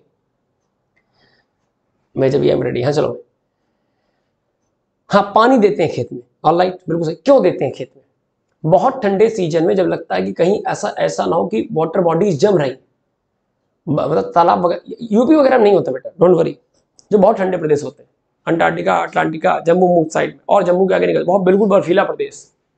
तो वहाँ जब लगता है कि इतना टेम्परेचर गिर जाएगा कि कहीं ऐसा ना हो कि खेत जम जाए तो उसमें पानी भर देते हैं, ताज़ा पानी भरते हैं। उसकी वजह है। उसकी वजह यह है कि हाँ टेम्परेचर मेंटेनेंस एक तो दूसरी बात कह सकते हो बेटा कि जब जैसे ही पानी भरोगे तो पानी, अब देखो कितनी प्यारी बात यहाँ पर आ गई कि पानी जो खेत में आपने अभी ताज़ा ताज़ा भरा है, पानी भरा है तो ये आपका पेड़ ऑल राइट हमने से बना दिया। और ये आपका जाइलम फ्लोएम जा रहा टिश्यूज जा रहा है वाटर कैरी करने वाले जो भी है फ़ूड कैरी करने वाले। तो जाइलम होता है आई थिंक वाटर कैरी करने वाला। तो ये आपका जाइलम टिश्यू और जाइलम टिश्यू के अंदर कौन है वॉटर अच्छा सोचो, अगर सराउंडिंग का टेम्परेचर ड्रॉप कर गया, अगर सराउंडिंग टेम्परेचर ड्रॉप करेगा तो सराउंडिंग का टेम्परेचर ड्रॉप करने से, अगर सराउंडिंग का टेम्परेचर ड्रॉप करेगा तो सराउंडिंग टेम्परेचर ड्रॉप करेगा। तो जो जाइलम टिश्यू है, इसके अंदर जो पानी है, वो भी इन कॉन्टेक्ट अगर हुआ बाहरी सरफेस पर तो भी ड्रॉप करेगा। और अगर जाइलम टिश्यू ड्रॉप में टेम्परेचर ड्रॉप करेगा तो पानी फ्रीज हो सकता है। फ्रीज होगा तो आइस बनेगी। आइस का वॉल्यूम, वाटर के वॉल्यूम से बहुत थोड़ा सा ज़्यादा होता है। आइस का वॉल्यूम, वाटर के वॉल्यूम से थोड़ा ज़्यादा होता है। तो जैसे ही थोड़ा ज़्यादा होगा तो जो जाइलम टिश्यू है, उस पर एक्सपेंशन होगा। बर्फ़ बनेगी, बर्फ़ जरा सा फैलेगी पानी के कंपैरिजन में तो जाइलम टिश्यू फट जाएगा। और ऐसा एक पौधे के साथ नहीं, पूरी फ़सल के साथ होगा। और अगर ऐसा हुआ, ताकि फ़सल नष्ट हो जाएगी। किसान क्या करता है, चतुराई करता है, वो इसमें पानी भर देता है। इसका प्लांटेशन कर, इसमें वाटरिंग कर देता है। फ़ायदा क्या हुआ? अब टेम्परेचर की लड़ाई जाइलम से बाद में होगी। पहले टेम्परेचर की लड़ाई पानी से। वाटर कह रहा, भैया हाई स्पेसिफिक हीट है भाई ना जल्दी गर्म होंगे और ना जल्दी ठंडे होंगे। तो सराउंडिंग का टेम्परेचर गिरेगा। नो डाउट वाटर का टेम्परेचर गिरेगा but water will take time to cool down लेकिन पानी जमने में काफ़ी टाइम लेगा। ना जल्दी ठंडा होता है, ना जल्दी गर्म। तो वाटर टाइम लेगा, देर से ठंडा होगा। बहुत देर से फ्रीज होगा। और बहुत देर से फ्रीज होगा तो जाइलम पर इससे पहले कि इफ़ेक्ट आए, आपका सीज़न निकल जाएगा। इतना टाइम ले लेगा इतना पर्याप्त टाइम लेगा, इतना। बहुत ठंडियों में इतनी जल्दी जो है बर्फ़ के तालाब नहीं जमते, कभी नहीं होता। इट टेक टाइम यार, समय लगता है। तो जब तक समय लगेगा, तब तक सीज़न निकल जाएगा। फ़सल बच जाएगी बेटा। हाँ पानी धीरे धीरे हीट लूज करता है। ये भी सही, पानी धीरे धीरे भाई, पानी हम हम उसको उल्टे तरीके समझा रहे हैं कि पानी देर से बर्फ़ में कन्वर्ट होगा।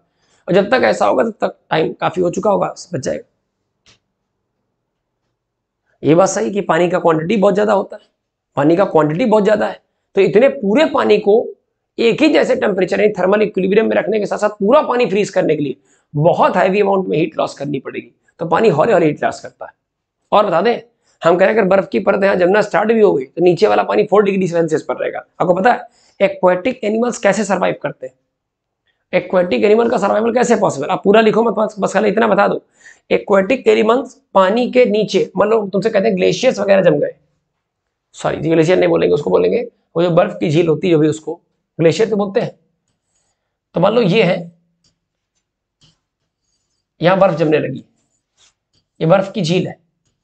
लेकिन बर्फ़ की झील को अगर फोड़ के नीचे जाओगे, तुमको यहाँ मछलियाँ तैरती मिलेंगी। मछलियाँ तैरती मिलेंगी। उसकी वजह क्या है? कि बर्फ़, एक तो पहली बात, ऐसा कवरेज बना रही, ऐसा स्ट्रक्चर बना रही, जैसे हीट का फर्दर एक्सचेंज लगभग बंद हो जाएगा, पहली बात। तो हीट अंदर के मामले में अंदर रहेगी। और पानी, जो बर्फ़ के नीचे का पानी है मैक्सिमम डेंसिटी वाला, जिस पर बर्फ़ तैर रही है, कम डेंसिटी वाले आर्टिकल्स हाई डेंसिटी पे तैरते हैं। तो ज़्यादा डेंसिटी वाला पानी जो कि चार डिग्री सेल्सियस पर है, उस पर बर्फ़ तैर रही है। इसका मतलब नीचे का पानी हमेशा चार डिग्री पर रहेगा। और बाकी ईश्वर ने कुछ एक्वेटिक एनिमल्स की डिज़ाइन ऐसे बना रखी है कि इनकी सर्वाइवल के लिए हेल्पफुल होगी। सो ऑल इक्वेटिक एनिमल्स हाँ। Are you getting my point मेरा पॉइंट पकड़ पा रहे बेटा? क्या बोल रहा हूँ मैं? कि जितने भी इक्वेटिक एनिमल्स होते हैं, वो चार डिग्री सेल्सियस पर बर्फ़ के नीचे सर्वाइव करते हैं बेटा। All aquatic animals survive beneath ice layer at four degree Celsius getting my point clear हो गया बेटा? किसी के मन में कोई डाउट हाँ। भाई, आप ऐसा कह सकते हो कि भैया लॉजिकली समझो, हुआ क्या? लॉजिकली लास्ट लाइन समझ लो बेटा, बस खत्म कर रहे बस इसके बाद एक सिंगल क्वेश्चन नहीं पूछेंगे। सराउंडिंग का टेम्परेचर बहुत गिरा सराउंडिंग का टेम्परेचर बहुत गिरा तो पानी का टेम्परेचर गिरा, पानी का टेम्परेचर गिरते गिरते कभी ऐसा हुआ होगा चार डिग्री पहुँचा होगा, चार डिग्री जब पूरा पानी हो जाएगा, पानी का टेम्परेचर और गिरेगा। तो जब ऊपर का टेम्परेचर चार डिग्री के बाद ज़ीरो पहुंचेगा तो यहाँ बर्फ़ बनना चालू हो जाएगी, नीचे चार मेंटेन रहेगा क्योंकि चार डिग्री सेल्सियस का temperature highest density temperature highest density वाला आर्टिकल हमेशा नीचे रहता है। तो बर्फ़ इसके ऊपर तैरेगी, नीचे पूरा टेम्परेचर चार मेंटेन रहेगा हीट का फर्दर फ्लो अगर बंद हो गया तो अच्छी बात है, होता भी रहेगा तो भी नीचे टेम्परेचर नहीं हीट का फर्दर फ्लो धीरे धीरे करके बंद हो जाएगा। और आइस की जो लेयर्स है, वो जमती जाए हालाँकि एक बात, एक अभी रिलेशन देखोगे sir t proportional to x square कि आइस की जो थिकनेस बढ़ने का यानी आइस के ग्रोथ का जो रेट होता है उसमें लगा टाइम मेरे हिसाब से शायद रिलेशन में कहीं उल्टा तो नहीं कर रहा बेटा एक्स प्रपोर्शनल कल क्लियर हो जाएगा, हालाँकि मिलेगा कि time of growth of ice layer by an amount x is proportional to x square ये बातें भी आपको मिलेंगी पढ़ने के लिए। क्लियर बेटा? So I think everything is crystal clear so today बच्चों we had a great session we had a great discussion over over all the articles हमारे पास आज बढ़िया सेशन रहा। हम लोगों ने सारी बेसिक बातें हीट क्या है टेम्परेचर क्या है टेम्परेचर स्केल क्या है, दोनों कनेक्शन क्या है है ना? और इसके बाद कितने तरीके के एक्सपेंशन पॉसिबल है? एक्सपेंशन होते वक्त मटेरियल्स कैसे ग्रोथ करता है? आइस फ्रीज होने के बाद कैसे क्या करती है? ये सब देखा। वाटर का डेंसिटी कर्व वाटर का कह सकते हो वॉल्यूमेट्रिक कर्व देखा कि टेम्परेचर के साथ साथ वाटर के वॉल्यूम में कैसे वेरिएशन आता है डेंसिटी में कैसे वेरिएशन आता है। Linear coefficient of expansion thermal coefficient of expansion volumetric coefficient of expansion alpha beta gamma ratio one two one two three देखा। फिर इसके बाद बच्चों, हम लोगों ने ये भी नोटिस किया कि हमारे पास दो तरह की स्पेसिफिक हीट हो सकती है। स्पेसिफिक हीट मास लेवल पर स्पेसिफिक हीट मोलर लेवल पर गैसियस लेवल पर। और जैसी हीट होगी, जैसी स्पेसिफिक हीट होगी, वैसा उसका डिस्कशन होगा। तो कहने का सेंस ये कि हम किसी भी सब्सटेंस की अच्छा स्पेसिफिक हीट की कैटेगरी देखी वाटर की स्पेसिफिक सबसे ज़्यादा वाटर का एनामोलस कैरेक्टर देखा। तो कहने का मतलब बच्चों, ढेर सारी बातें हम लोगों ने करी। अभी बहुत सारी बातें हीट एंड थर्मोडायनेमिक्स के रिगार्डिंग बाकी है। Right so be prepare for tomorrow's class tomorrow session is going to be have a great session बहुत सारा काम बेटा। सो हम लोग बिल्कुल राइट टाइम दस दस दस तक मिलेंगे, दस, पाँच, दस दस तक, पाँच, सात, दस मिनट थोड़ा सा डिले हो सकता है। या राइट टाइम रहेंगे बेटा। तो कल हम लोग दस बजे के आसपास अपनी क्लास स्टार्ट करेंगे और फिर से पूरी रफ्तार से रिवीजन करते करते, तकरीबन दस से दो के सेशन में, उम्मीद करता हूँ लगभग चार घंटे हमारे पास एक मार्जिन रहता है बेटा। थैंक यू बच्चों thank you thank you thank you तो चार घंटे के सेशन में, तीन से चार घंटे जो भी पॉसिबल हुआ बेटा, दस बजे से लेकर के जो भी लेट नाइट सेशन हुआ, उसमें बड़े, कल सैटरडे है बड़े अच्छे से मेहनत करेंगे। और पूरी हीट एंड थर्मोडाइनमिक्स को अच्छे से विदाई देंगे ताकि इसका कोई भी क्वेश्चन हमसे हाँ कल क्यू करेंगे बेटा। Tomorrow we'll be having a question session also all right so have a good night, have a great night sleep early morning आराम से जग जाइएगा। अगर आप आठ बजे तक भी सोते हैं तो उम्मीद करता हूँ आपकी नींद पूरी हो जाएगी आठ, साढ़े आठ तक। अच्छे से अपनी क्लास कीजिएगा, अपना ख्याल रखिए। मुस्कुराते रहिए, गुनगुनाते रहिए। ज़िंदगी के गीत यूँ ही गाते रहिए। और नीट की तैयारी करिए। डॉक्टर बनिए और पेशेंट्स को ठीक करिए। नहीं बेटा, मेरे लिए इससे बड़ा कोई ट्रिब्यूट नहीं होगा। आपका, आप कुछ मत कीजिए। और ना ही मैं कोई उपकार कर रहा हूँ, मैं अपनी ड्यूटी कर रहा हूँ, देवांश, अच्छे डॉक्टर बन के आप भी ढेर सारे पेशेंट के साथ ऐसा ही उपकार कीजिएगा। है ना? ये ह्यूमन नेचर जो है हमारा, हम सब लोग का, वो हमें, हमेशा मोटिवेट करते रहता है कि हम दूसरों के लिए कुछ करें। ये हमारी अच्छी सोल है जो हमको अंदर से इंस्पिरेशन दे रही है कि let's do something by maybe बेटा। लूसीफर गुड नाइट बेटा। रजनीश गुड नाइट बेटा। मेजबी गुड नाइट सब बच्चों गुड नाइट बेटा। गॉड ब्लेस यू ऑल बेटा।